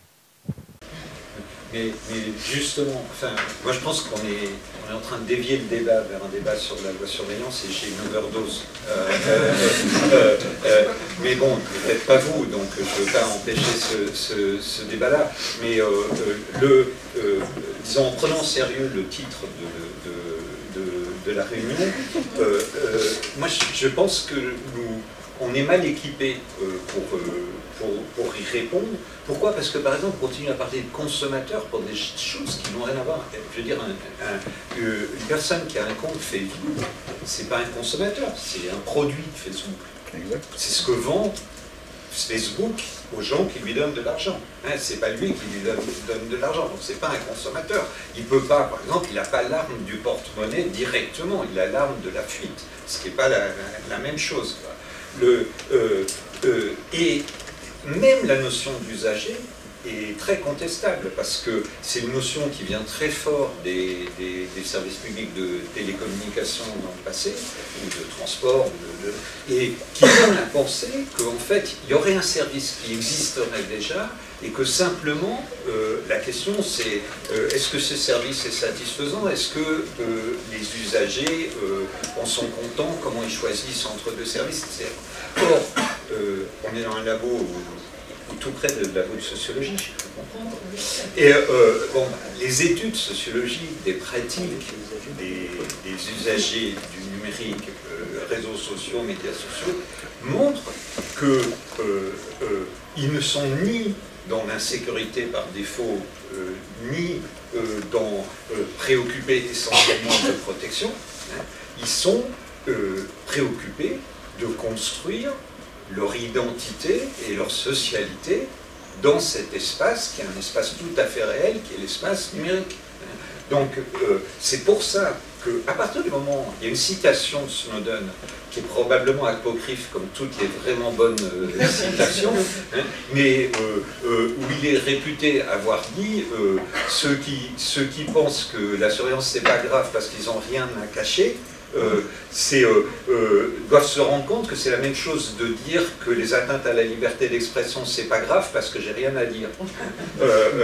Les, et en réalité, c'est pas du tout une boutade. C'est-à-dire que ce qui est réellement en jeu et ce, le levier véritable, c'est pas simplement l'exposition des données ou le, le c'est la capacité à construire ce qu'on est et avec qui on interagit, etc. Par exemple, la question du gouvernement, du gouvernement algorithmique auquel euh, M. faisait allusion indirectement à travers les sites d'appariement. La question, euh, euh, la question on va pas acheter les algorithmes, toute l'informatique, elle marche avec des algorithmes. Hein. C'est pas parce qu'on parle de boîte algorithmique, par exemple, qu'on va acheter les algorithmes. Hein. Euh, on peut rien faire dans le monde numérique sans algorithme. Mais la question, c'est de savoir et qui a du pouvoir sur la définition de ce que ces algorithmes font? C'est pour ça que j'aimais beaucoup les formulations de la deuxième partie du débat. Et donc, si on si, supposons un instant qu'on considère qu'un degré accru de décentralisation, moi je suis tout à fait d'accord pour dire que j'ai dit que l'Internet n'avait jamais été un système complètement pair à pair, et je suis tout à fait d'accord pour dire que des systèmes décentralisés et non intégralement distribués euh, sont les, systèmes réels. Je ne suis pas du tout sûr que la fédération sur le modèle des opérateurs de télécom soit la, bonne façon de définir cette décentralisation, parce que ça a tendance simplement à remplacer des oligopoles par des cartels. Hein. Donc euh, c'est euh, ce qui est un progrès, mais limité. Mais, donc si on considère qu'il faut de la décentralisation, une décentralisation accrue, ça serait utile d'essayer cas, euh, euh, il faut euh, vraiment être conscient que ça demande un changement significatif d'environnement. Hein. et d'en fait de trois environnements. Ça ne va pas être si simple. D'abord l'environnement sociétal dont on parle quand on se demande si les gens sont des consommateurs, des usagers, des, acteurs sociaux. cet environnement sociétal, il faut reconnaître qu'il y a dedans des points d'appui. Enfin là je rejoins Joël Farchi ou ou euh, Francesca Musiani sur le fait qu'il euh, euh, y a réellement nous, n'importe qui qui opère des sites web a remarqué des changements de comportement massifs suite aux révélations de Snowden. hein. Euh, euh, euh, par exemple, des baisses très importantes de statistiques de fréquentation liées au do not track, hein, au choix de. Donc, si les. donc, c'est ou un usage certes extrêmement anarchique, mais néanmoins plein de bonne volonté des technologies de chiffrement, hein, compris les gens qui envoient leurs clés privées avec leurs messages. euh, mais mais c'est pas grave, c'est dans la, ca- la capture de la, courbe d'apprentissage. Il y a des points d'appui, mais alors il ne faut pas négliger, et ça je, suis pleinement d'accord avec euh, ce que disait Vincent Toubiana, qu'il y a des obstacles majeurs. Les obstacles majeurs qu'il y a, euh, ne- ce n'est pas la volonté d'exposition. Euh, les obstacles majeurs, ce sont les effets de réseau. Hein, C'est-à-dire que, prenez, Twitter. Twitter, c'est ce que j'appellerais un média social. Ça a été pendant longtemps ce que j'appellerais un média social relativement éthique. hein. Euh, et éthique, pas seulement parce qu'il n'est pas dans la, slide de Snowden, euh, ce qui prouve peut-être rien, hein, mais parce que Twitter vous montrait, jusqu'à il y a peu, les messages uniquement des gens auxquels vous étiez abonné et dans l'ordre où ils les avaient produits. C'est-à-dire, en fait, n'interférez pas avec qu'est-ce que vous avez choisi de voir dans ce qui vous est montré. hein. Euh, euh, et euh, maintenant qu'ils sont entrés en bourse, c'est en train de changer radicalement, c'est-à-dire par exemple on vous montre des messages sélectionnés euh, de ceux que vous avez loupés pendant que vous n'étiez pas connecté, ou on vous ils font ça très discrètement hein, parce que c'est des gens très intelligents, euh, et qu'ils savent que leurs usagers sont des gens très conscients de, ces questions-là. Mais donc, supposons que ça continue, eh ben, ça veut dire qu'il faut, faut partir de Twitter. hein. Euh, Twitter est un outil de coordination absolument majeur du travail de communautés spécialisées entières. Hein. Alors, ce n'est pas du tout des gens qui interagissent avec la planète entière, hein. c'est des gens qui interagissent avec quelques centaines de personnes dont ils lisent un message sur deux. Mais comment vous vous coordonnez pour qu'il y ait 200 euh, personnes euh, qui partent en même temps ailleurs? Il n'y a rien de plus simple qu'un système de microblogging. hein. Euh, Identica, bon, ça ne marche pas très bien, mais ça a été programmé et opéré intégralement par une personne. hein. Euh, donc, euh, c'est c'est, euh, pas du tout des trucs compliqués. Néanmoins, ce qui est compliqué, c'est de se coordonner pour partir. Donc, moi, j'ai dit, le truc le plus utile, c'est un machin qui est comme le financement participatif pour organiser la coordination du fait que si ça continue, on va tous partir ensemble. Hein, euh, euh, mais des petits groupes, hein, euh, il ne s'agit pas de, faire partir, parce que le, rapport avec le monde en entier, on, l'aura toujours. hein, alors, le deuxième, euh, euh, donc les effets réseau, c'est un obstacle majeur, et ça crée une irréversibilité de la tendance vers la centralisation. Euh, parfois, les effets de réseau sont complètement fictifs, c'est-à-dire les gens y croient que parce qu'ils mettent une vidéo sur YouTube, ils vont- elle va avoir plus de vues que s'ils la mettaient sur leur blog. hein. Ben, c'est absolument pas vrai. hein. C'est parce que c'est pas parce qu'il y en a une de temps en temps qui, qui est vue par 2 millions de personnes que ça prouve quoi que ce soit. hein. Euh, euh, le deuxième niveau d'obstacle, c'est le cadre législatif. Et là, il ne faut pas oublier quand même qu'on a mené une guerre impitoyable à la décentralisation à travers la, la guerre contre les réseaux opérateurs de partage de fichiers. Euh, et euh, et qu'on les a beaucoup des, tendances que mentionnait Vincent Quintana ont été des réponses à cette guerre, euh, en y compris la tendance à la centralisation dans les trackers BitTorrent. Donc, les, les, euh, donc, euh, enfin bon, désolé, ça c'est pour les initiés, mais euh, bon, le, donc ce cadre, cette modification législative, pour rendre l'environnement plus favorable au développement des, des, services décentralisés, malheureusement est très dur à être obtenu en Europe, parce que l'Europe est le pays qui légifère pour les intérêts, euh, enfin la zone géographique qui légifère le plus pour les intérêts établis.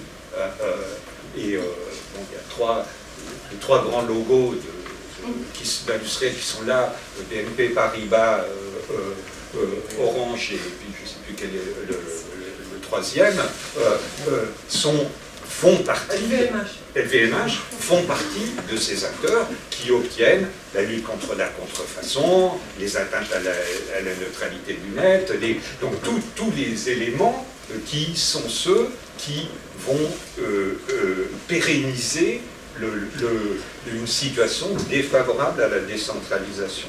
Et enfin, on aurait besoin de politiques publiques incitatives, parce qu'il y a eu des politiques publiques euh, incitatives considérables à produire des copies des services centralisés.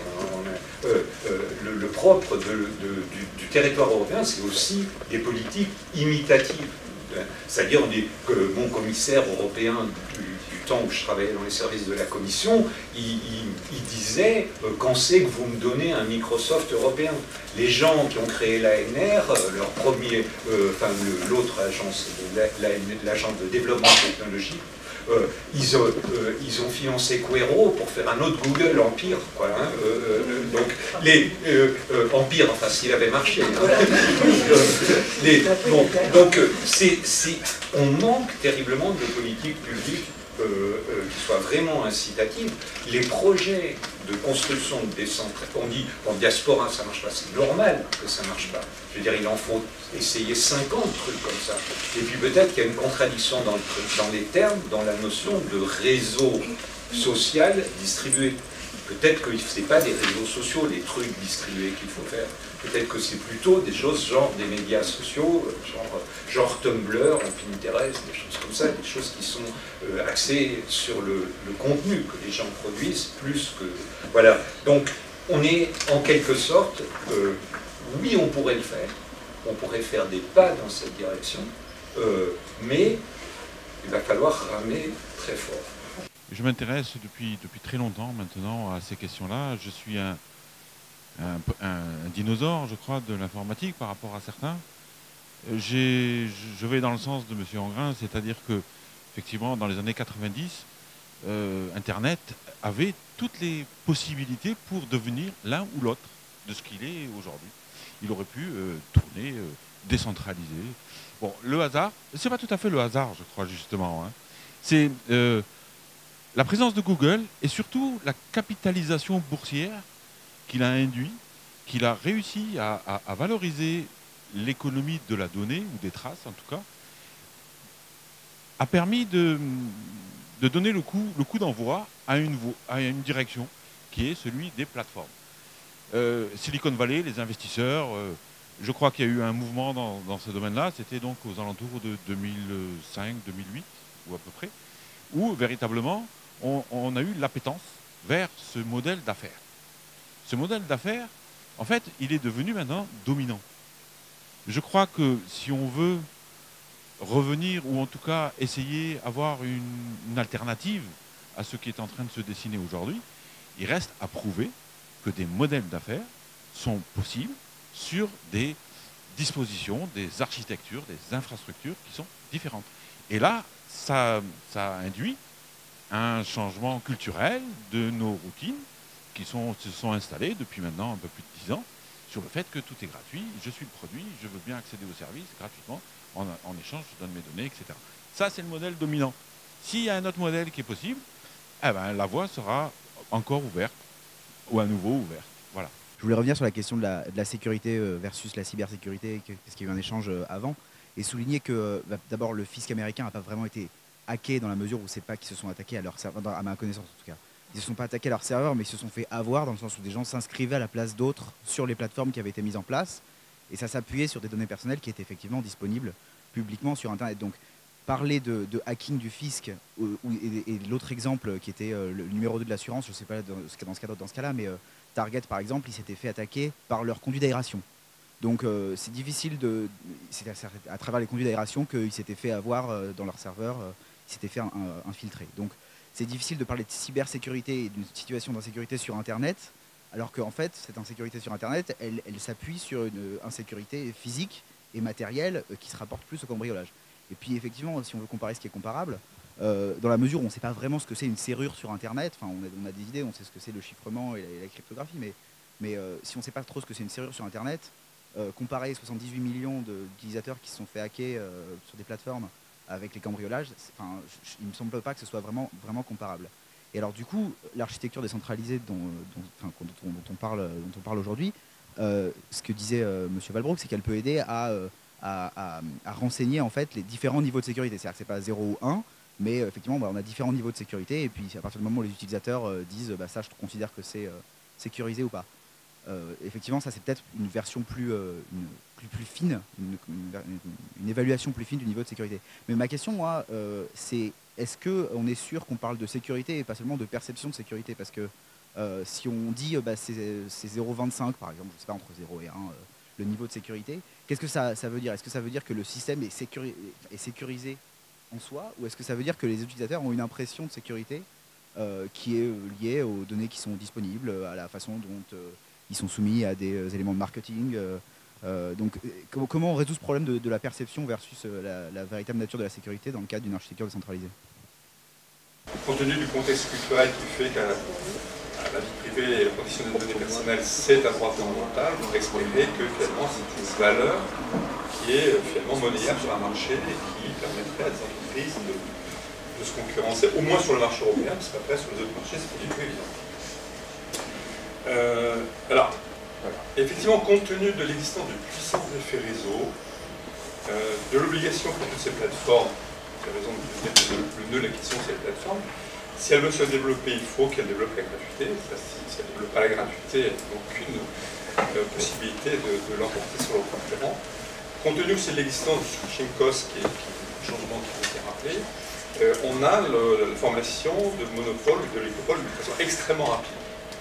Première fois dans l'histoire économique que euh, une firme qui, est née en 98, 5 ou 6 ans après, c'est un, monopole mondial. Ça n'a jamais existé. Euh, moi, je pense que pour euh, les marchés qui sont déjà dominés par ces, GAFA, les carottes sont cuites. C'est-à-dire qu'on peut espérer que.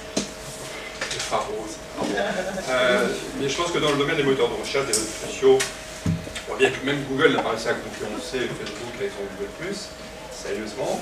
Donc c'est très difficile d'inverser la vapeur. Par contre, sur les nouveaux marchés, c'est une question qui mérite d'être réfléchie. Euh, par exemple, dans le domaine des objets connectés. Euh, donc quel serait le dosage, le bon dosage, euh, finalement, réglementation, dynamique de marché, qui ferait qu'on pourrait stimuler, en tout cas favoriser les entreprises qui respectent davantage les données personnelles et la vie privée que- que les autres GAFA. Le problème, c'est que euh, c'est assez habituel, c'est une course de vitesse. C'est-à-dire que ces, GAFA euh, vont très rapidement, je prends l'exemple de Airbnb euh, ou de Uber, ils sont très rapides. Uber, ils sont déjà en Chine, c'est incroyable. Euh, C'est déjà terminé. Alors, extrêmement rapidement. Est-ce qu'on a la possibilité de développer un modèle d'innovation extrêmement rapide lorsqu'on est respectueux d'un certain nombre de choses? C'est pas du tout évident. Et le risque, c'est qu'on occupe euh, une position de niche sympathique. Euh, voilà, toujours finalement, on s'adresse à des niches, mais on ne touche pas au fondamental. C'est ça le. pour avoir ce type de marché. Sauf sauf si tu as, par exemple, si tu as une monnaie alternative qui se développe, vraiment, est-ce que tu Tu touches fais pas la fondamentalement Tu fais la promotion du. Non, je ne fais pas ça du tout. Non, non, non. C'est le gros de les condamnés. Moi, je ne crois pas du tout. euh, On travaille là-dessus, les, les informaticiens quand même retraçant toutes les transactions. ça, C'est quand même un monde sans loi. Absolument. Vous êtes purement décentralisé. Crois pas un seul instant monnaie centrale puisse se démocratiser. Ça, c'est pas possible. Euh, je, vais, illustrer ça par un paradoxe. J'ai beaucoup discuté avec Benjamin André de Cozy Cloud. Cozy Cloud, c'est un logiciel qui permet l'auto-hébergement. Tu peux mettre ton serveur de mail, tu peux mettre ton agenda, tu peux mettre ton diaspora, tu peux mettre plein de choses, et donc ne pas dépendre des, des plateformes centralisées. Euh, et j'en ai beaucoup discuté avec lui, parce que moi, ça m'intéresse bien évidemment de pouvoir contrôler mon serveur de mail. Sauf que, euh, en discutant avec lui, on en est arrivé à la conclusion que mon intérêt à moi, en tant que journaliste qui bosse avec Wikileaks et qui bosse sur les services de renseignement, c'est plutôt de continuer à utiliser Gmail que d'installer un Cozy Cloud euh, chez moi ou euh, chez OVH. Pourquoi? Parce que le nombre d'avocats que peut se permettre Gmail pour résister à une demande des services d'un service de police qu'il soit, le nombre d'ingénieurs de sécurité que paye Google pour sécuriser Gmail est tel que jamais personne ne sera à la hauteur de la sécurité que peut offrir Gmail à ses utilisateurs. Et c'est tout le paradoxe de ce sentiment de sécurité, c'est que je suis bien évidemment pour la décentralisation, pour des Freedom Box, pour le fait que des gens puissent avoir un contrôle sur leur serveur, sauf que bah, je ne suis pas un professionnel de la sécurité informatique et, je ne pourrais jamais sécuriser mon Cozy Cloud comme, comme Google peut sécuriser Gmail. Donc c'est tout le paradoxe de cette décentralisation, c'est que la décentralisation peut créer un sentiment de liberté, peut créer un sentiment de sécurité, alors qu'en fait, paradoxalement, le, fait de décentraliser, mais en, utilisant des logiciels qui ne sont pas forcément aussi sécurs que des logiciels qui sont utilisés dans les plateformes centrales, fait qu'on peut s'exposer plus facilement. C'est un gros paradoxe, et j'ai pas de réponse pour l'instant à ça. Pourquoi je suis pessimiste? Il y a un historien économiste euh, américain qui s'appelle Paul David, qui écrit un célèbre article qui s'appelle The Economics of QWERTY et qui nous expliquait les raisons pour lesquelles euh, ce clavier de machine à écrire, euh, QWERTY ou AZERTY, peu importe, euh, qui n'est pas du tout dans l'ordre alphabétique, a été donc imaginé au XIXe siècle pour ralentir la frappe en fait des, dactylos, de façon à ce que les tiges de fer ne se croisent pas et, bloquent, la machine. Bon. il expliquait ensuite qu'on est passé à la machine électrique, maintenant l'ordinateur, on a toujours le, le clavier QWERTY parce que ça s'enracine finalement dans des, ce qu'on appelle les rendements croissants d'adoption, des usages, etc.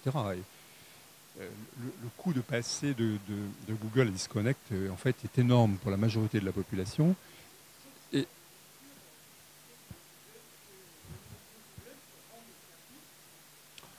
mais, même, même ça, même ça, même ça. Mais c'est toute l'histoire de la bataille de, Microsoft contre Apple. Apple avait un meilleur système d'exploitation. Euh, beaucoup plus convivial, etc. C'est Microsoft qui a gagné et Apple a perdu la bataille.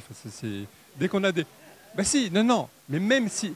On peut montrer, que, peut montrer que même si on a un service qui est d'utilité supérieure, eh bien, il, ne va pas être adopté en raison des rendements croissants. Bon, ça, et alors, je, pense qu'il y a une solution, je me fais l'interprète des thèses de Stéphane Bach, solution qui est que la solution des Chinois, c'est-à-dire que eux, ils ont un moteur de recherche, Baidu, ils ont un, réseau social qui s'appelle QQ, ils ont un Twitter qui s'appelle Weibo, etc. Bon, ils ont bloqué les, plateformes américaines. Bon, ils ont pu se déployer. Ah mais ça, c'est. Voilà.